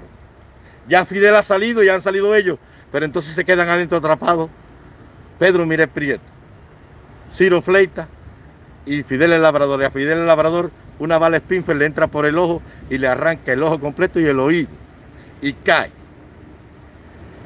Entonces, salen huyendo a la desbandada, porque los otros de Ernesto Tizol se pierden porque están siguiendo del carro donde para atrás. Ernesto Tizol no lo conoce. Entonces, Raúl y Lester Rodríguez, al darse cuenta de lo que está pasando, porque si están viendo, abortan la toma del Palacio de Justicia. Pero Abel Santa María, que está en el Saturnino Lora, que no sabe nada, empieza a fajarse con los guardias, porque él no sabe lo que ha pasado. Y está una hora fajándose ahí con los guardias. Y en ese momento sale Jaime Costa con el chofer parando por la calle y los guardias atrás de ellos preguntando dónde hay un hospital, porque Gustavo Arcos Verde está muriendo. Y lo llevan a un hospitalito y le llaman enfermero. Y lo tiran allí, pero en todos los hospitales tú sabes que hay un policía. Y ahí lo cogen. Y lo curan. La gente de Chaviano no sabe que ese hombre está ahí, por eso sobrevivió. Llaman a Chaviano rápidamente. Chaviano entra al cuartel sobre las 8 de la mañana y empieza el tiroteo con la gente de Abel. Cercan el Saturnino Lora. Y ahí es donde comienza la historia que más o menos todo el mundo conoce. Donde ellos entran y tratan de disfrazarse de enfermero y matan al doctor Mario Muñoz ahí mismo. Y cogen y le sacan el ojo a Abel y matan a Boris Luis Santa Coloma. Y de la gente que está ahí en el Saturnino Lora, nada más sobreviven tres personas. Mel Baidé y un hombre que se llamaba Pedro Ramón Ferrer o Ferres, que es de Artemisa, no sobrevive nadie más. Y ese sobrevive porque se viste de enfermero. Entonces, Chaviano hace entre la gente del Saturnino Lora y la gente que quedó atrapada en el Moncada porque eran barricanas, podían salir, 45, hace 45 prisioneros. Esa historia que pintaron, que los torturaron, los picaron, eso no fue verdad. A golpe de culatazo, a golpe de culatazo, de cabazo de revólver, de patada y puñetazo ahí en medio del patio, le sacan la información de lo que había pasado, de que el líder era Fidel Castro y que tuvieron que irse, que fueron los carros que se fueron. Entonces empiezan a llegar las patrullas y la policía al Moncada y el pueblo Hoy el tiroteo sobre las 5 o 6 de la mañana era carnaval. Y empiezan a salir los, vendedores, los carretilleros, los que vendían la lotería, el periódico, y todo el mundo conmocionó. ¿Qué pasó? ¿Qué pasó? Y el primer rumor que hay es que los guardias borrachos se mataron a tiro, o que hubo una, una revuelta contra Batista. Hasta que sobre las diez y pico de la mañana se enteran de que unos muchachos atacaron el cuartel y dos muchachas que hay en la calle, y entre ellas Vilma Spin y la otra no me acuerdo el nombre, después te lo voy a decir, van a Cela Díaz, Vilma Spin y, a Cela Díaz, dos muchachitas, se enteran de lo que está pasando, porque Vilma Spin no conoce a Fidel, ella conoce a Fran porque estudiaron juntos, pero hasta ese momento Vilma Spin no entra en operación. Y van para Moncada a ver qué lo pasó, chimoso al fin. Tú sabes cómo es el cubano que quiere saberlo todo. Ay, ¿qué pasó? Y todo el invento y lo ponen. Y entraron al Moncada a ver lo que había, trataron de ver, pero no vieron nada. Y salieron porque la gente, los guardias creían que aquellas dos muchachas eran familiares a la gente. En el patio, cuando ya le sacan la confesión, Chaviano que está encojonado porque le han acabado el ascenso y le han destruido el carnaval y le mataron, le mataron 18 guardias, la gente de, de Fidel y esta gente mataron 18 guardias e hirieron a 28, sabiendo que esta gente lo iba a matar. Entonces, encojonado por lo que hicieron, ¿qué hizo? Lo sacó a todos, los 41 que quedaban, los sacó para el patio cuartel y entre las 10 y media de la mañana de ese 26 de julio y las 11 y media, los masacró ahí, los guardias los masacraron, los mataron a todos. Entonces, ahí es la famosa historia donde le llevan el ojo, que le dicen, mira, este es el ojo de tu hermano, habla. Porque hasta, ¿Por qué le dice habla? ¿Sabe por qué? Porque hasta esa hora nadie quería decir lo que estaba pasando ni quién era el. Y Aide le dice, si tú se lo sacaste a él y no habló, voy a hablar qué. Hay un rumor que después en esos días la mamá de Abel Santa María había ido allá para recoger el cuerpo y cuando se montó en un ómnibus, un, sargento que le decían el tigre dijo, yo le saqué el ojo a, a Abel Santa María y voy a sacar muchos más. Pero eso es una historia que no se ha podido probar. Entonces, el plan era replegarse la granjita Siboney, coger el parque y las armas y partir a la sierra. Esa era la idea. El, ataque al Carlos Manuel se fue fracasó porque intentaron entrar por la caballeriza, se le escapó un tiro a alguien y había alguien con los caballos tuvieron que irse a la desbandada, ahí no murió nadie. Muchas gracias Tania por tu supergracia. Muchas gracias a ti mi amor. Entonces, van al cuartel para recoger la información y destruirlo todo a la granjita Simón y los que quedan pero solamente quedan ocho, los demás se han dispersado. En el grupo de los ocho va Fidel Castro, Mario Chanes de Armas, Armando Mestre y dos o tres más ahí que no me acuerdo el nombre, son muchos datos. Y empiezan a huir por la cercanía a las estribaciones de la Gran Piedra, la zona del Canella ahí. Muchas gracias. Entonces, Automáticamente Chaviano llama a Batista al cuartel de Colombia y se da la noticia y la prensa, y viene Bohemia y viene todo el mundo, viene el diario La Marina, el país se ha conmocionado. Se dan los sucesos y dicen que Fidel Castro, el líder, y Abel Santa María, que toda esa gente los conocían, están muertos, que han cometido una masacre terrible, que han matado a todos los soldados. Esa es la información, porque tú sabes cómo es la prensa. Y el país se conmocionó. Entonces, el arzobispo de Santiago de Cuba, Monseñor Pérez Serante, llama al cardenal en La Artiaga para que interceda con Batista, para que hable con Chaviano, para tratar de buscar una vía de conciliación a través de la paz, para que no maten a los que queden vivos.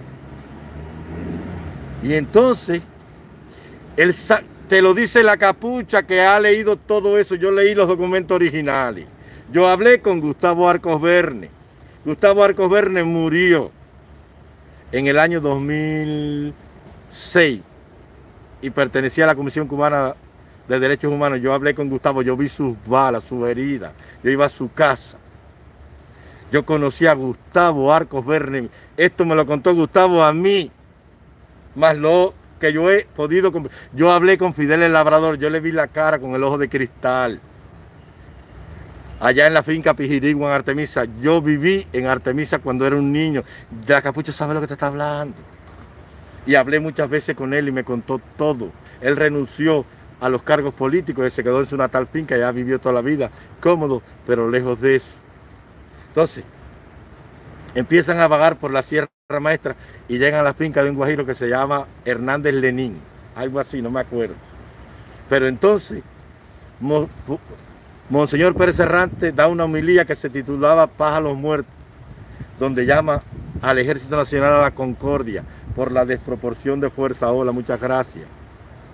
Y entonces dice, le ha escribido una carta al coronel Alberto Roberto y Río Chaviano apelando a su honor de militar, a su sentido común, a su fe eh, arraigada en la Santa Iglesia Católica, para que por el bien de la patria se salde este bochornoso capítulo que ha enlutado toda la familia cubana. Yo la leí, yo la capucha la leí yo, la original. Y, y apelamos a su pundonor de militar para que los muchachos, o sea, los muchachos que quedan vivos, puedan volver a casa en paz con su familia. Eh, los tenían como muchachos, ese es el trato que le daban. Entonces, se ordena cercar la zona de la Gran Piedra donde estaban ellos allí, porque recibieron un chivatazo. Y entonces, a los, eh, el día primero de agosto, a los seis días de los sucesos, o sea, el ataque fue el 26 de julio. El primero de agosto, 2, Fidel habla con Mario Chane de Arma y le dice, nos vamos a rendir. Y él dice, si nos rendimos nos van a matar, Fidel. Y Fidel le dijo, no, pero vamos a rendirnos, porque si no nos rendimos me van a matar a mí cuando me cojan, porque yo soy el cabecilla. Y él le dice, no, tú estás loco, Fidel. Chaviano nos va a pelar al moño. Si te rinde, Fidel, nos van a matar a todos. Allá abajo están los guardias. Lo salvió, aquí lo vuelve a salvar Mario Chane, porque si ellos se rinden antes que Pérez Cerante llegue, cuando la coge la tropa, de Pedro Sarrías Tartabul, un hombre cienfueguero que había ingresado en el ejército en el año 25 y que es de un central que se llama La Soledad o la Caridad, cerca de Cienfuegos, de la finca Tartabul en Cienfuegos, no sé si es La Soledad o Caridad, no me acuerdo, eso lo leí hace 40 años. Que en el año 25 ingresó en el ejército y tenía el grado de teniente y que era masón. Y que sus cuatro abuelos, tres, tres fueron esclavos y uno fue un español militar por la parte paterna. Entonces era masón. Y Chane le dice a Fidel, no nos podemos rendir porque si nos rendimos nos van a matar. Y Fidel le dijo, si no nos rendimos nos cogen, me van a matar a mí, porque yo soy el jefe de todo esto. Un muchacho, tenía veintipico años, oye la, la, pastoral del, la humilía para que los muchachos vuelvan en paz a casa con su familia y le pongamos fin a este capítulo que enluta a la familia cubana. Así fue la carta y la humilía que Pérez Cerante le mandó a Río Chaviano, pero Río Chaviano no respondió porque está encojonado. Porque si llega a estar ahí lo matan a él. Se publicó en el diario La Cimarrona, que después lo recopiló la Marina, de que los asaltantes habían pasado a la gente a cuchillo, lo habían degollado. Todo eso es mentira, eso no se ha podido probar. Todo eso es mentira. Entonces, se quedan durmiendo en un bohío cerca de la finca de este campesino que se llamaba la barriada de Sevilla en el Caney. Y a las 9 de la mañana, babiando, llevaban siete días por esa montaña, perdidos sin comida, sin nada, con toda la ropa llena de churro en un lugar donde yo vine casi todos los días, y sienten que le dan unas patadas. Es el ejército, es la compañía de Pedro Sarrías Tartabul que lo coge, pero cuando él lo coge, no sé si era Armando Mestre, el masón otro más, no me acuerdo, Pérez que estaba allí, José Luis Pérez, no sé, no me acuerdo, son tantos nombres. Él lo ve y el otro lo ve y le hace una seña y el otro le responde la seña y le dice, usted es masón. Y él le dice, mis hermanos me reconocen como tal. Si es mentira lo que estoy diciendo, si hay algún masón, podrá decirse mentira lo que digo. Yo lo leí así en la historia. Y él le dice, sí. Y él le dice, ¿Alguno de ustedes Fidel Castro? Y él dice, yo. Y un guardia rastrilla el estifo para matarlo y Tartabur se mete en el medio y le dice, no lo maten porque las ideas no se pueden matar. A partir de ahora mi orden es que nadie diga allá abajo a los comandantes de Chaviano, y a Chaviano que viene para acá, que Fidel Castro va conmigo aquí, porque si decimos que este Fidel Castro, Chaviano lo va a matar, porque él dijo que al único que no iba a perdonar era Fidel Castro. Entonces, sabiendo Pérez Cerante, que Chaviano no le respondió a su petición de clemencia. Va en un jeep del ejército para allá arriba, para la Gran Piedra, en el momento que Chaviano va y que baja un carro militar. Con la orden expresa de Sarria de proteger lo que va y no dicen que Fidel va.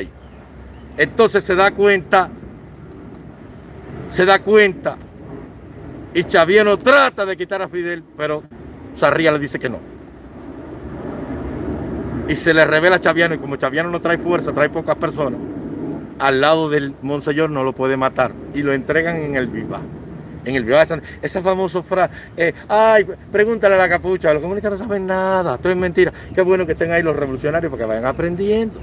Porque los han engañado con la historieta de que esa foto que se ve a él lleno churrey en el Viva es una foto manipulada por la tiranía. La foto original están todos ellos ahí.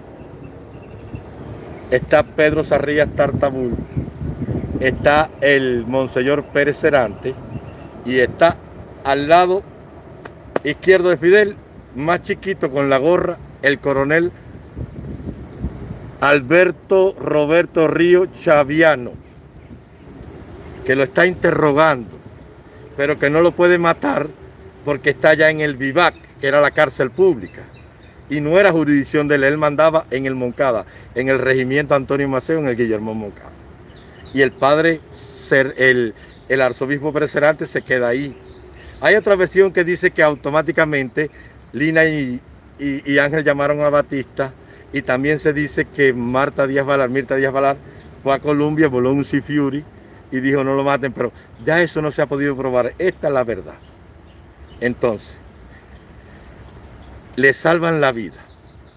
Entonces, van dos periodistas, uno que escribía crónica política y otro que escribía crónica católica religiosa del diario La Marina a cubrir la noticia con Pérez Cerante a la montaña para dejar constancia de que si Fidel estaba vivo o muerto, porque en ese momento la precaución iba a ir a Fidel Castro. Se había convertido en ese momento en el, en, el, en el Mesías Redentor, había levantado la dignidad, todos los políticos se habían conmocionado, todos esos muchachos se habían ganado. Y Bohemia empieza a, publicar la masacre. Pero también publica los militares muertos y el duelo que le hace el ejército y más o menos se compensó el dolor por los muertos de ambos bandos.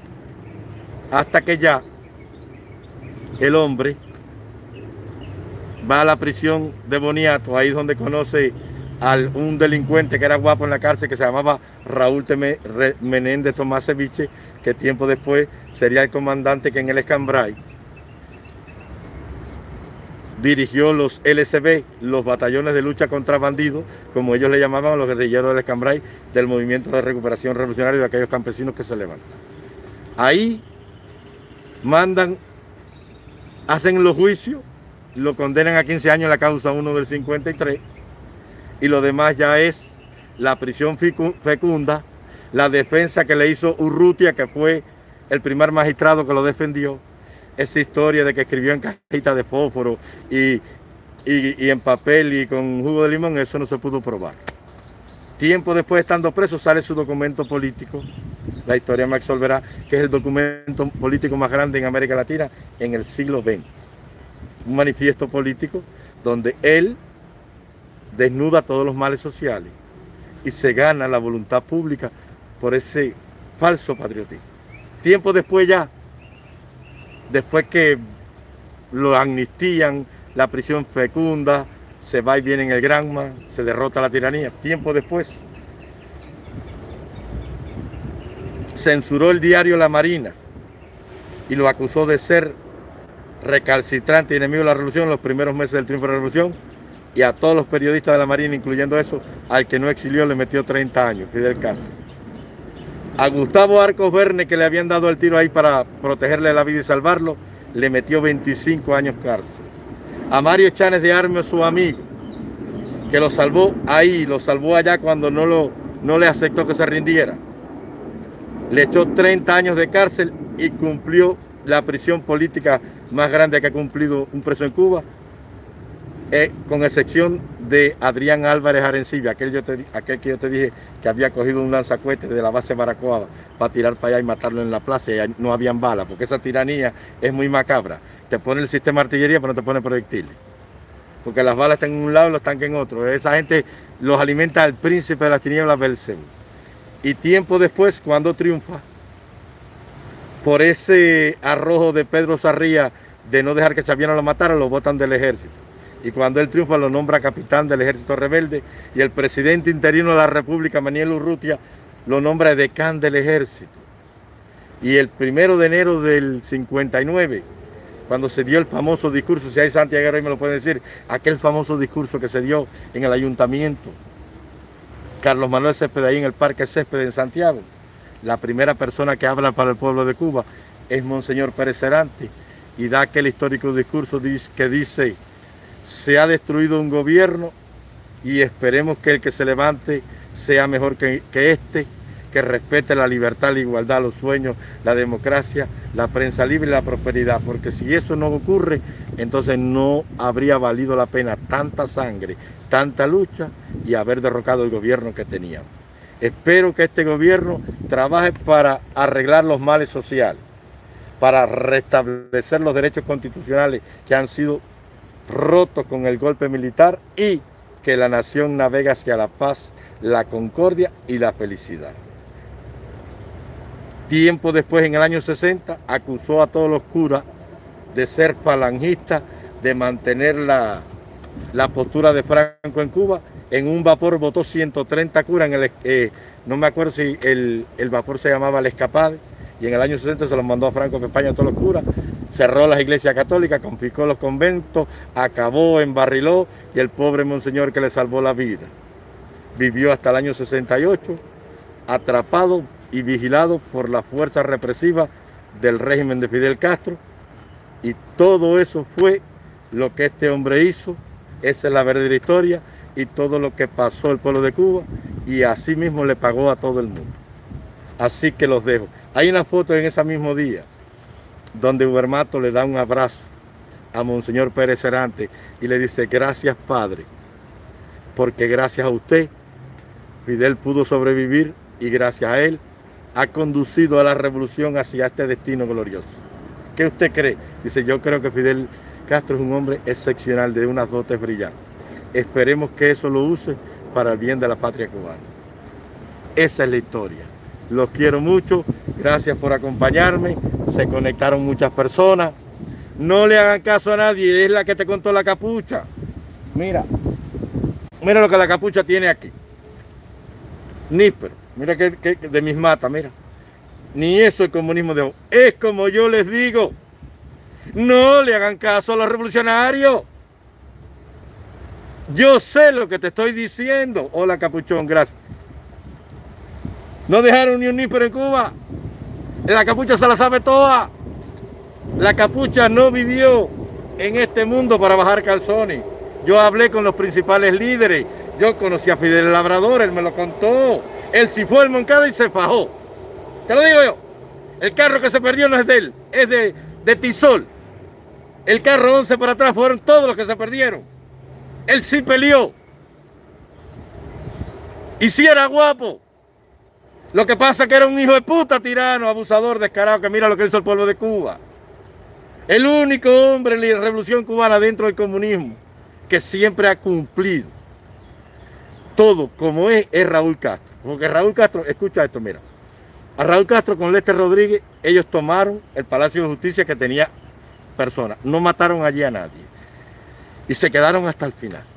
En el frente guerrillero de Raúl Castro, dice Ubermat, en su libro Cómo llegó la noche, que el frente de Raúl Castro era Estados Unidos la Sierra Maestra. Allá había fuerza aérea, suministro de comida, cerradero, escuela, zapatería, hospitales para la gente. Había hecho un congreso campesino, no le había quitado la tierra a nadie, había comprado un impuesto de guerra a los ganaderos, a los, a los madereros y a los cafetaleros. Y era un hombre justo. Yo me acuerdo con aquella discusión famosa del año 83 perdón, cuando discuten por el mercado libre campesino. Lo que pasa es que Ubermato dice, ahí el asesino era Fidel, porque él convirtió a Raúl Almeida y a los demás comandantes que se quedaron fieles en cómplices de sus crímenes y los obligó por el poder a que fusilaran y mataran. Mira las entrevistas para que veas. Es como la capucha te dice. La historia es la que yo te he contado. Aquí no hay nada más ni nada menos que ponerle a la historia. Es como yo te digo. El coronel Alberto Roberto Blanco Rico al triunfo de la revolución se le iba huyendo porque se lo iban a echar y murió en Miami en el año 78. Es como yo te digo. Es como yo te digo, acabó con la iglesia el pobre hombre. Expulsó hasta el cardenal de Cuba y a todas las monjas, a todos los órdenes religiosos. Los acusó de ser falangistas, de mantener en Cuba la doctrina de Franco. A Mario Chani, que lo salvó dos veces, que se enfrentó a 200 tiradores en el Moncada, junto a, a Ciro Fleita, a Pedro Miré Prieto, a Gustavo, que le metieron un tiro en el pecho y otro en el muslo, a Fidel, el labrador, que le arrancaron el ojo. Claro que sí. Al diario La Marina, el, pobre hombrecito gordito católico de La Marina, que escribió rápidamente el editorial para que el pueblo de Cuba supiera lo que estaba haciendo, le quitó el periódico y los votó a todos. Solamente de ellos se quedó uno y murió con 80 años en Cuba. ¿Qué pasa? Maestro, creo que usted se le están subiendo los humos. Este es comunista. Cuando yo digo que la capucha es la que sabe, es, porque yo lo quiero hacer ameno, ameno, para, para hacer jovial la, la, transmisión, para que la gente se ría. Yo soy una persona muy sencilla. Yo lo hago para, que los comunistas sufran. Los comunistas no saben nada de eso. De que sabe la capucha. ¿Quién sabe? El doctor Gustavo León. Ese sí sabe, ese es mi maestro. Yo me puedo escucharlo. ¿Por qué? Porque el doctor Gustavo León es más viejo que yo y conoció a muchas de esas personas. Yo lo sé por el testimonio oral, el escrito y porque he recabado evidencia. Fui a la iglesia, conocí a toda esta gente. Yo sé lo que te digo. Entonces tú ves a la gente por ahí hablando, sí peleóme. Y eran guapos, si era pistolero. Venía del problema de, Mongo Castro, el presidente de la FEU que mataron, que no se sabe si él lo mató, esa gente resolvía el problema de pistola. Esa gente no estaba adoctrinada, mi hijo. Esa gente tú era guapa. Tú no oyes a Aide que le traen el ojo. ¿Tú sabes lo que es dejarse sacar un ojo vivo? Oiga, si a usted le cae una paja un sobre el loco.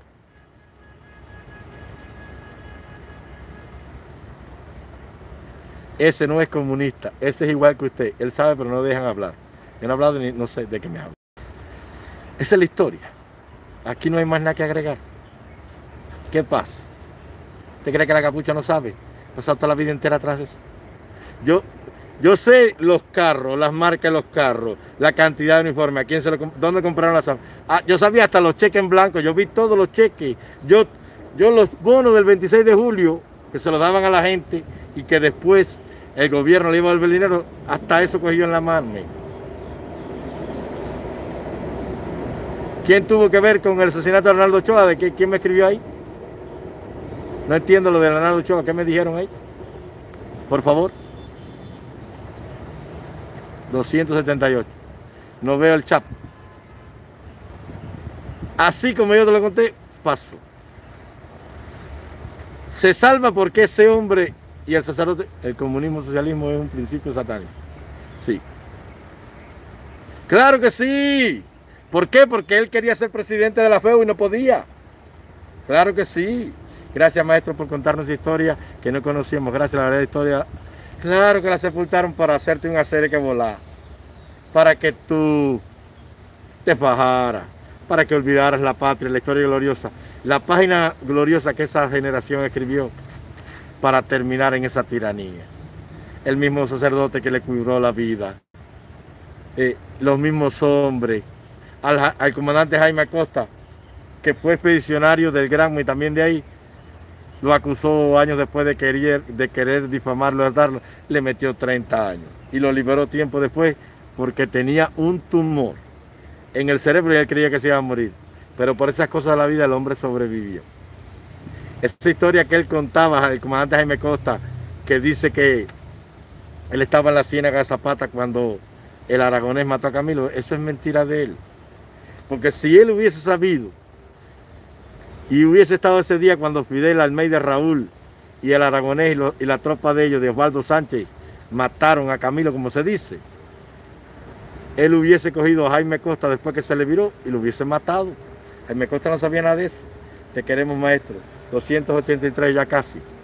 Te queremos, maestro. Níspero como más nunca he visto. Mira. Mira qué clase níspero. Mira. Lo más rico. Yo, yo los meto en ceniza, eh, en una bolsa prieta. Y cuando están tigueritos, hago, eh, hago refresco. No, Chivá no lo quería, Chivá nunca lo quiso al lado de él. Y sin embargo, cuando matan a Chivá, él es una de las personas que carga el féretro. La capucha se la sabe toda. Los comunistas no saben nada de eso. Eso es mucho fallo. Camilo nunca salió de Camagüey. Claro que no. Y mí cómo Eisenhower le entregó a Cuba a Castro Ruz. ¿Cómo Eisenhower? Eisenhower no tiene nada que ver con eso. Primera vez que veo esa fruta. ¿No has visto quién tú eres? Rotslen. Es de la familia de... Esta, eh, eh, esto es una angiosperma. Angiosperma que tiene semillas dentro y gimnosperma que tiene semillas fuera. Es una angiosperma. Es de la familia de los, de los zapotes y los mamey. Es oriunda del sur de México. Eh, maestro, esa silla cuesta bastante dólares. Eh, la capucha tiene reales, la capucha no es pobre. Una pesetica para vivir, primera vez que conozco esa fruta. Eh, la capucha es un hombre que tiene solvencia económica.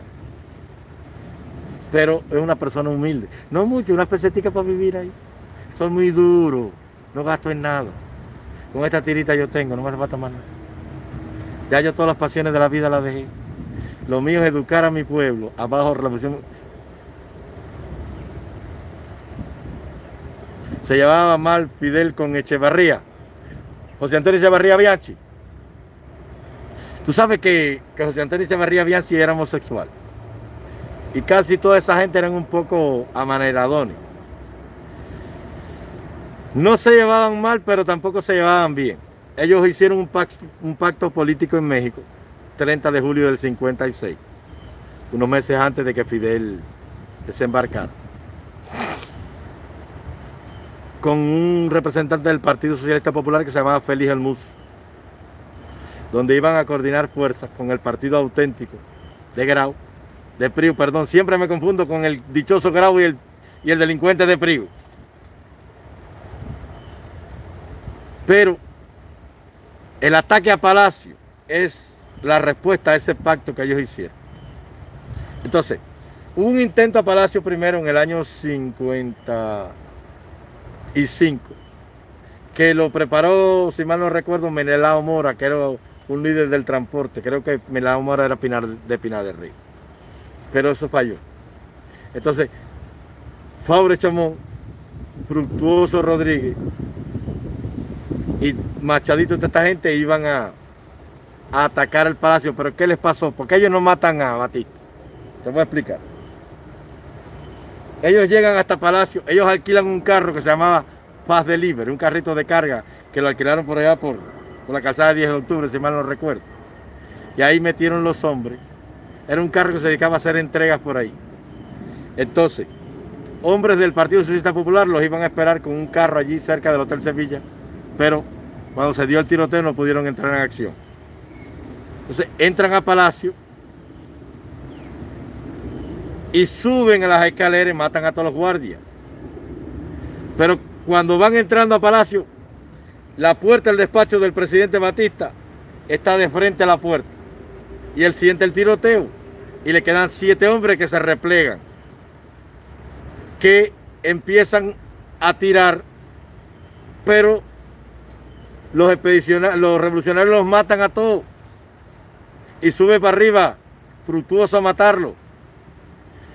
Y Batista había mandado hacer un elevador chiquitico así, pegado a la puerta. Y le tiraron una granada para adentro a matar a Batista. Batista la cogió, la tiró para afuera y mató a todos los que venían. Y entonces en ese elevador chiquito se metió y subió para arriba donde habían unos francotiradores que velaban palacio. Cuando entraron al despacho no lo encontraron.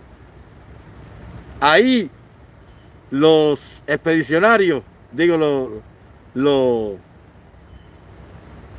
los asaltantes de Palacio encontraron el ojo de buey aquel que Machado puso, que se había perdido de los días de, de Miguel Mariano Gómez y que después apareció en el, en el, en el buró de Batista. El ojo de buey famoso. Y que después llegó a Palacio otra vez, por esa honradía que había en Cuba, y que el comandante lo recogió porque él decía que se lo podían robar. La joya de la República y hasta el sol de hoy.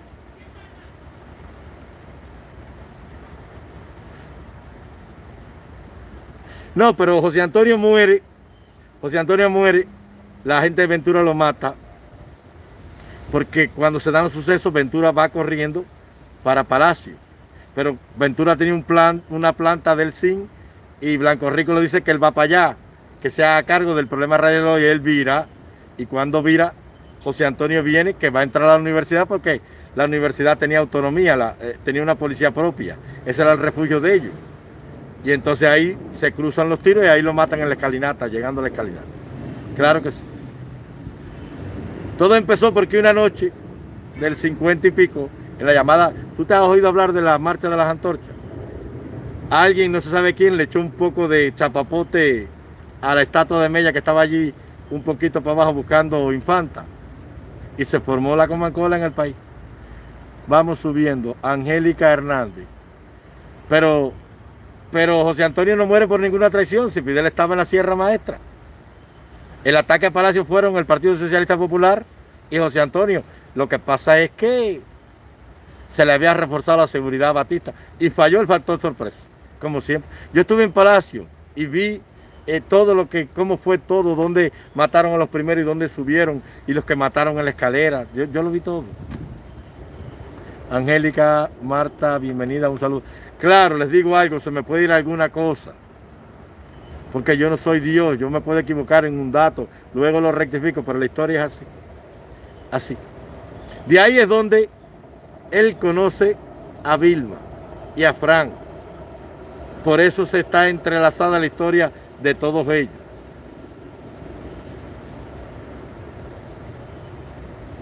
Ya a Batista le habían intentado hacer un, el directorio, que era el guapo, todos eran guapos, el directorio, esa gente era terrible.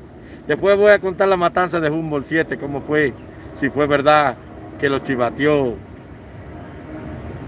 eh, la gente de, Joaquín Ordoqui. Yo después les cuento, bendiciones para todos. 297 personas conectadas. ¿Vieron la...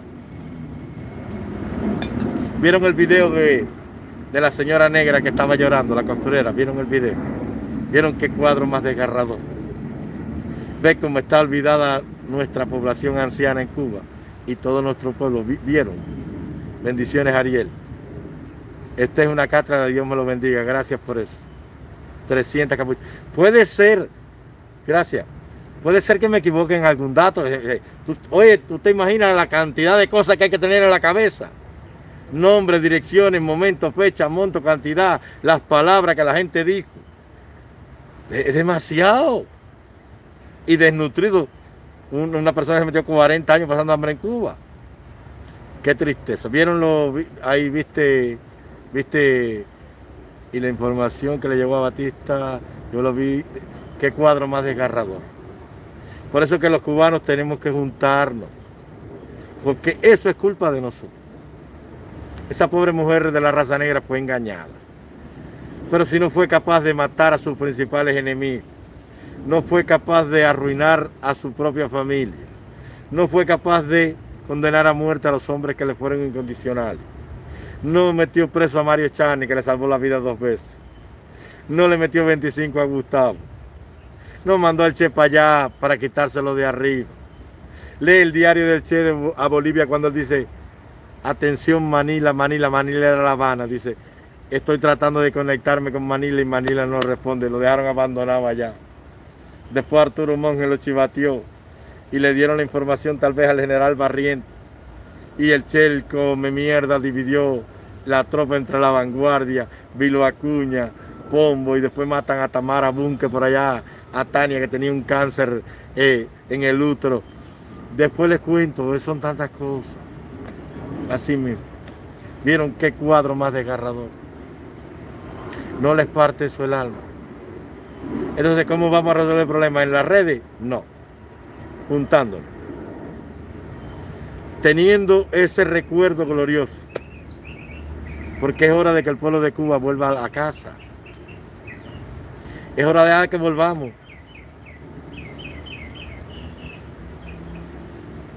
No, Padre no fue el traidor. Después yo te digo quién fue el traidor. Tranquilo. Padre no tiene nada que ver con eso. Fue Marquito el que lo chivateó, chico, que era amigo de, de Pedro Carlos Sevilla, Padre Chamón.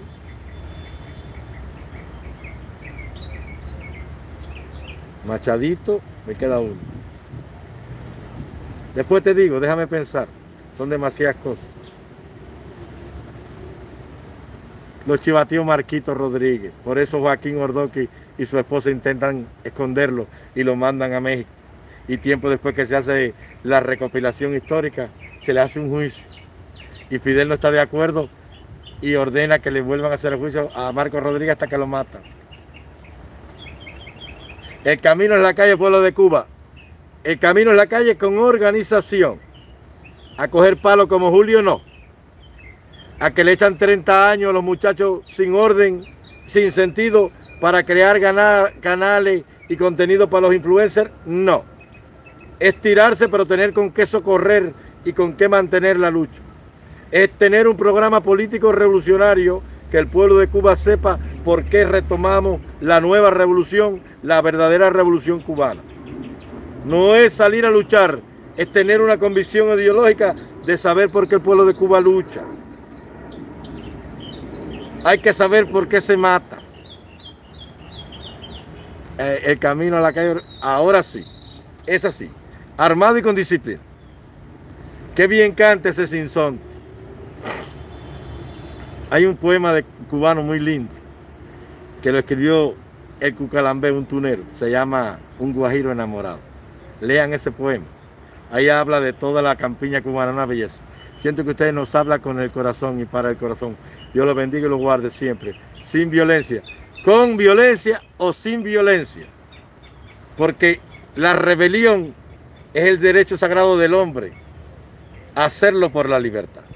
No es ningún crimen rebelarse ni contra la tiranía ni contra el despotismo de un tirano. Escuchando la buena historia con el canto de un sinsonte, ¿qué más se puede pedir? Eso es cubanía vivo. Tú no sabes lo feliz que yo soy debajo de este árbol.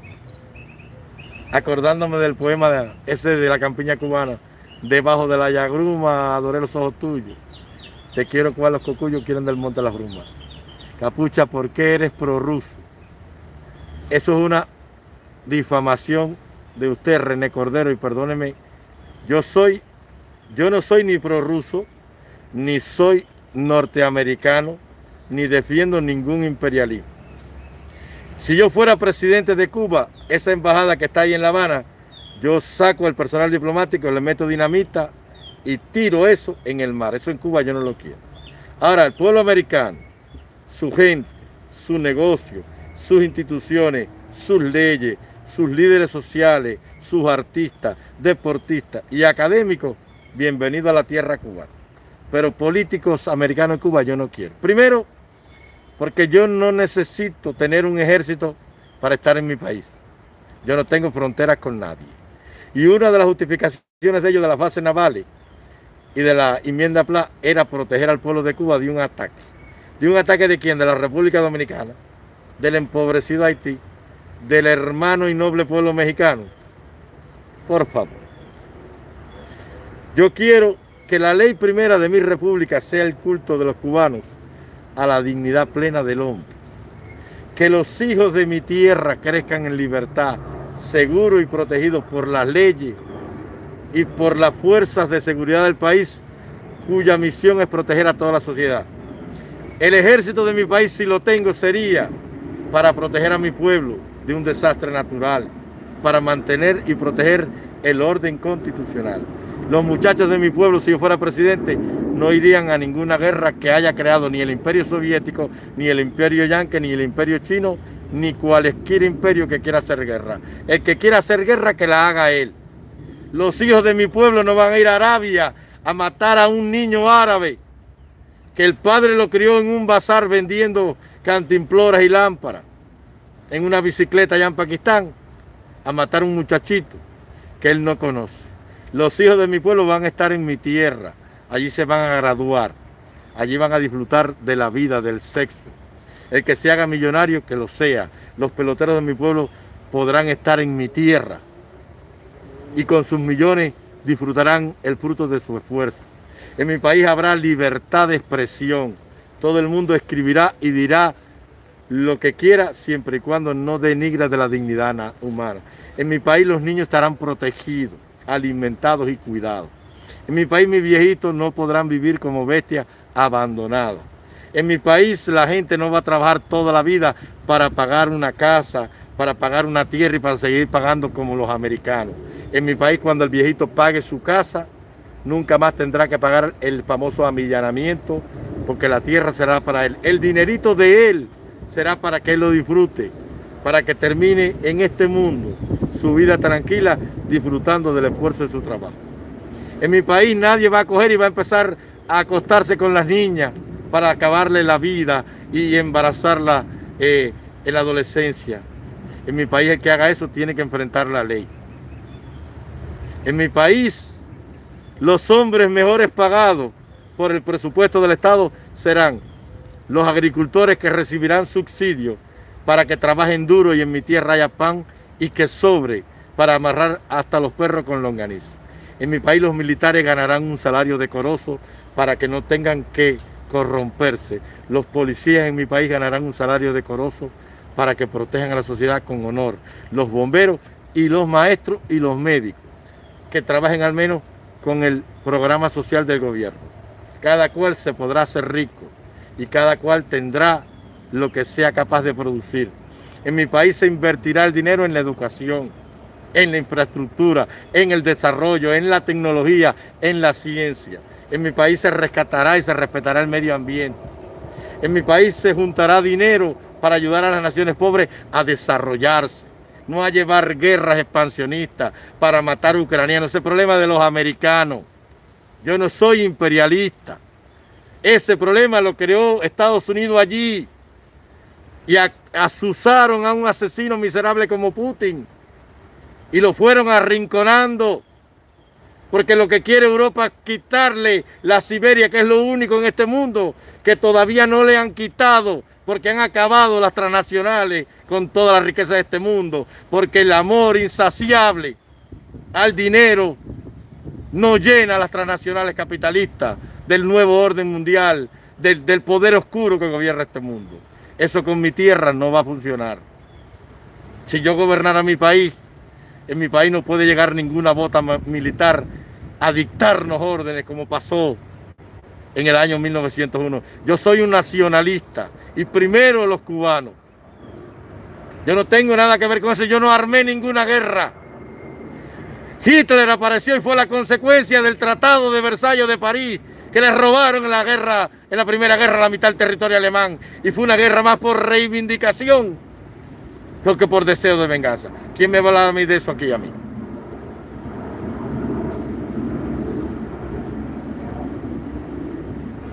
En mi país nadie le podrá decir un testigo de Jehová que es un hijo de puta, ni, ni un testigo podrá hablar más de un adventista, ni un católico, que la gente crea en lo que quiera. La persona tiene libertad plena o no es libre.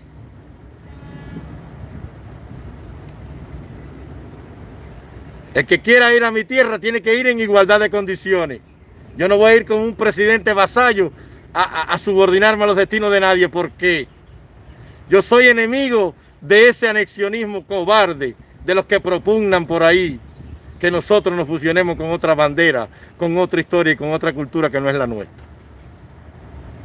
Manos de cobardes, sinvergüenza, que dejamos que nos robaran la patria y nos esclavizaran. En mi país no puede haber odio. En mi país la justicia tiene que estar por encima de todo el mundo. Mientras me quede un hálito de vida y un, y un pensamiento será para la paz y la concordia y la justicia en mi tierra. En mi país el presidente que robe tiene que ir preso y tiene que declarar lo que tiene él y todos los funcionarios públicos.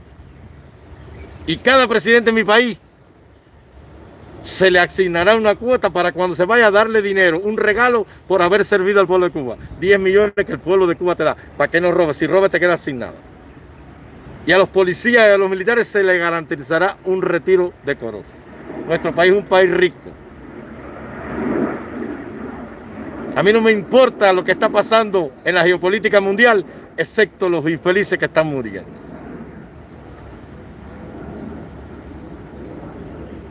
Lo mío es Cuba, defender lo de los cubanos, defender el tabaco, defender el ron, defender la cultura, defender la idiosincrasia, defender el derecho a la vida, que es el derecho sagrado más grande del hombre.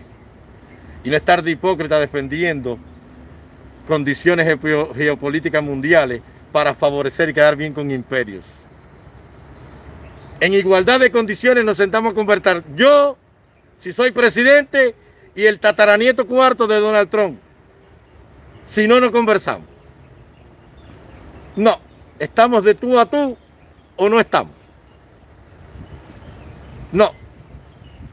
En mi casa mando yo. Esta es la tierra de los cubanos.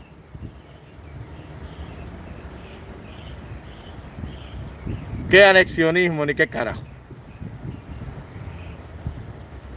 En Cuba el que me viole un niño, fíjate que una de las leyes que yo voy a poner en Cuba, ojalá yo no, es que yo no quiero. En Cuba el que me viole un niño a mí, yo le voy a hacer una, una castración biológica, como hacen en Corea, que le inyectan los testículos al violador. Y después de eso le voy a meter 30 años para que trabaje y mantenga ese niño toda la vida. Y con lo que sobra, se pague hasta el ataúd después que salga preso. En mi país no hay nada de eso. En mi país nadie me va a, matar. En, mi país el que me mate una mujer por la violencia de género o la mujer que mate a un hombre, la ley para todo el mundo. Yo eso lo extermino rápido. En mi país nadie me va a meter pandilla. En mi país nadie me va a coger y me va a meter el crimen organizado y el crimen de la muerte. Eso lo extermino yo en 24 horas. Yo soy como Bukele. Conmigo no hay nada de eso. Porque yo tengo las leyes, tengo el apoyo de la sociedad, tengo el dinero, tengo los recursos del país, tengo la Fuerza Armada y la policía. Y a mí me asiste todo. A mí una bandita delincuente no me va a sembrar el terror en las calles de Cuba. Las cárceles que haya que hacer, que la pague el pueblo de Cuba. La seguridad no tiene precio lo que vale. No, y la constitución del 40 dice que un solo periodo de mandato. Una sola vez gobernarás y nunca más gobernarás. Eso de que me voy a quedar toda la vida en el poder de la República. La patria no es un reino, ni es una herencia, ni es un protectorado. Usted vino a servirle al pueblo de Cuba, no vino a que el pueblo le sirviera a usted. Están equivocada la gente con eso. No, Cuba no puede ser cristiana porque en Cuba hay personas que no creen en el cristianismo, son sincréticos religiosos, o son judíos, son musulmanes. Cuba debe ser un Estado donde las iglesias y el Estado estén separados, no debe ser una nación laica. La religión es un problema de cada cual. La identidad sexual es un problema de cada cual. En Cuba no va a venir el movimiento LGTBI ese a decirme que los niños se pintan alante de las niñas. No, no, no, no, no, no. En mis escuelas eso no va. Eso de que un niñito se mutiló los senos con 12 años. No, no, no, no, no, no, no, no.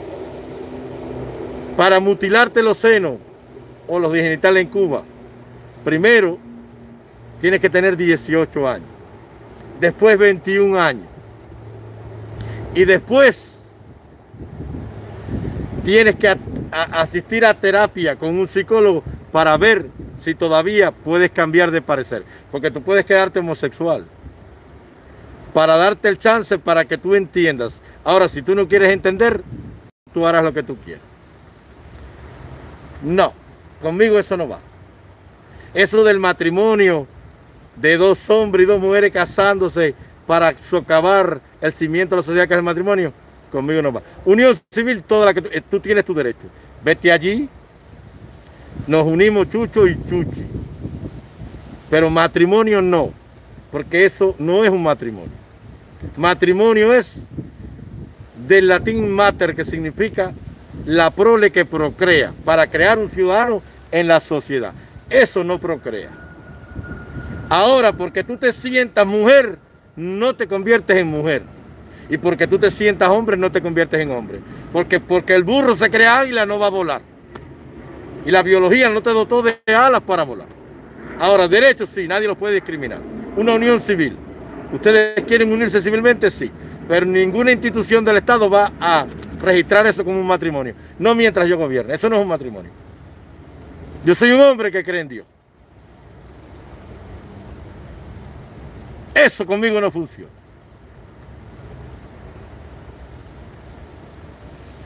Claro que sí creo en la separación de los poderes. Claro que sí. En mi país se debe restituir la constitución del 40. Hay que revisarla. Sobre todo en el tema, lo que trata sobre el Ejecutivo. Eso que te vas por un periodo, esperas ocho y vuelve, no. Una sola vez y ya, o aumentar el periodo de gobierno a seis años. Como hace la República Mexicana. Conmigo no hay nada de eso. Conmigo vamos a, desarrollar toda la economía haciendo énfasis en lo que ha probado que es la riqueza de nuestra tierra, en nuestro turismo, en nuestra cultura, en nuestra idiosincrasia, en nuestra agricultura, en nuestro tabaco, en nuestro ron, en, nuestro, en nuestros ecosistemas y en nuestra industria azucarera.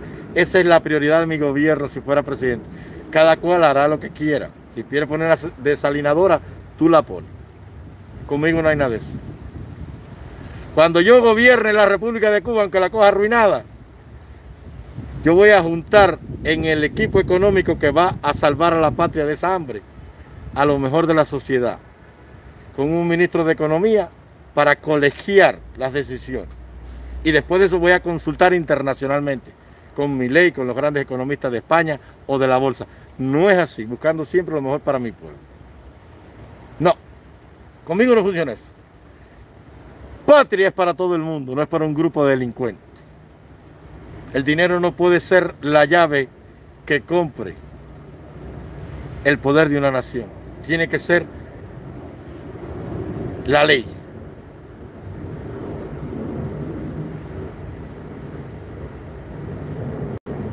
Tiene que ser la ley. En mi país nadie va a coger y va a sacar comunistas y lo va a arrastrar por la calle. No. Para eso está la ley. Anarquías no. Si la ley dictamina que Raúl Castro tiene 150 años y ya no puede ir preso, no puede ir preso. Y yo soy el primero en ponerme allí para que no vaya preso. Con odio no se construye nación, es la ley. El precio a vivir en una tiranía y no luchar por la libertad es aceptar que un tirano muera en la cama como un bebé de mes. Conmigo no hay nada de eso. Los recursos de mi país se van a vender primero a los cubanos que bastante plata tienen. Y si se va a vender a una empresa extranjera, el Estado en Cuba no puede tener ninguna participación en el capital privado, porque esa es la primera corrupción. Usted opera con un impuesto razonable, usted me paga los intereses.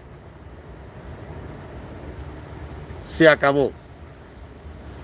La economía es un ave que debe volar sola, que compita el tabaco cubano con el dominicano, que compita el ron cubano con palo viejo en Puerto Rico, que compita el aguardiente de cano con flor de caña aquí cerca en Nicaragua. Compita, innove, pague.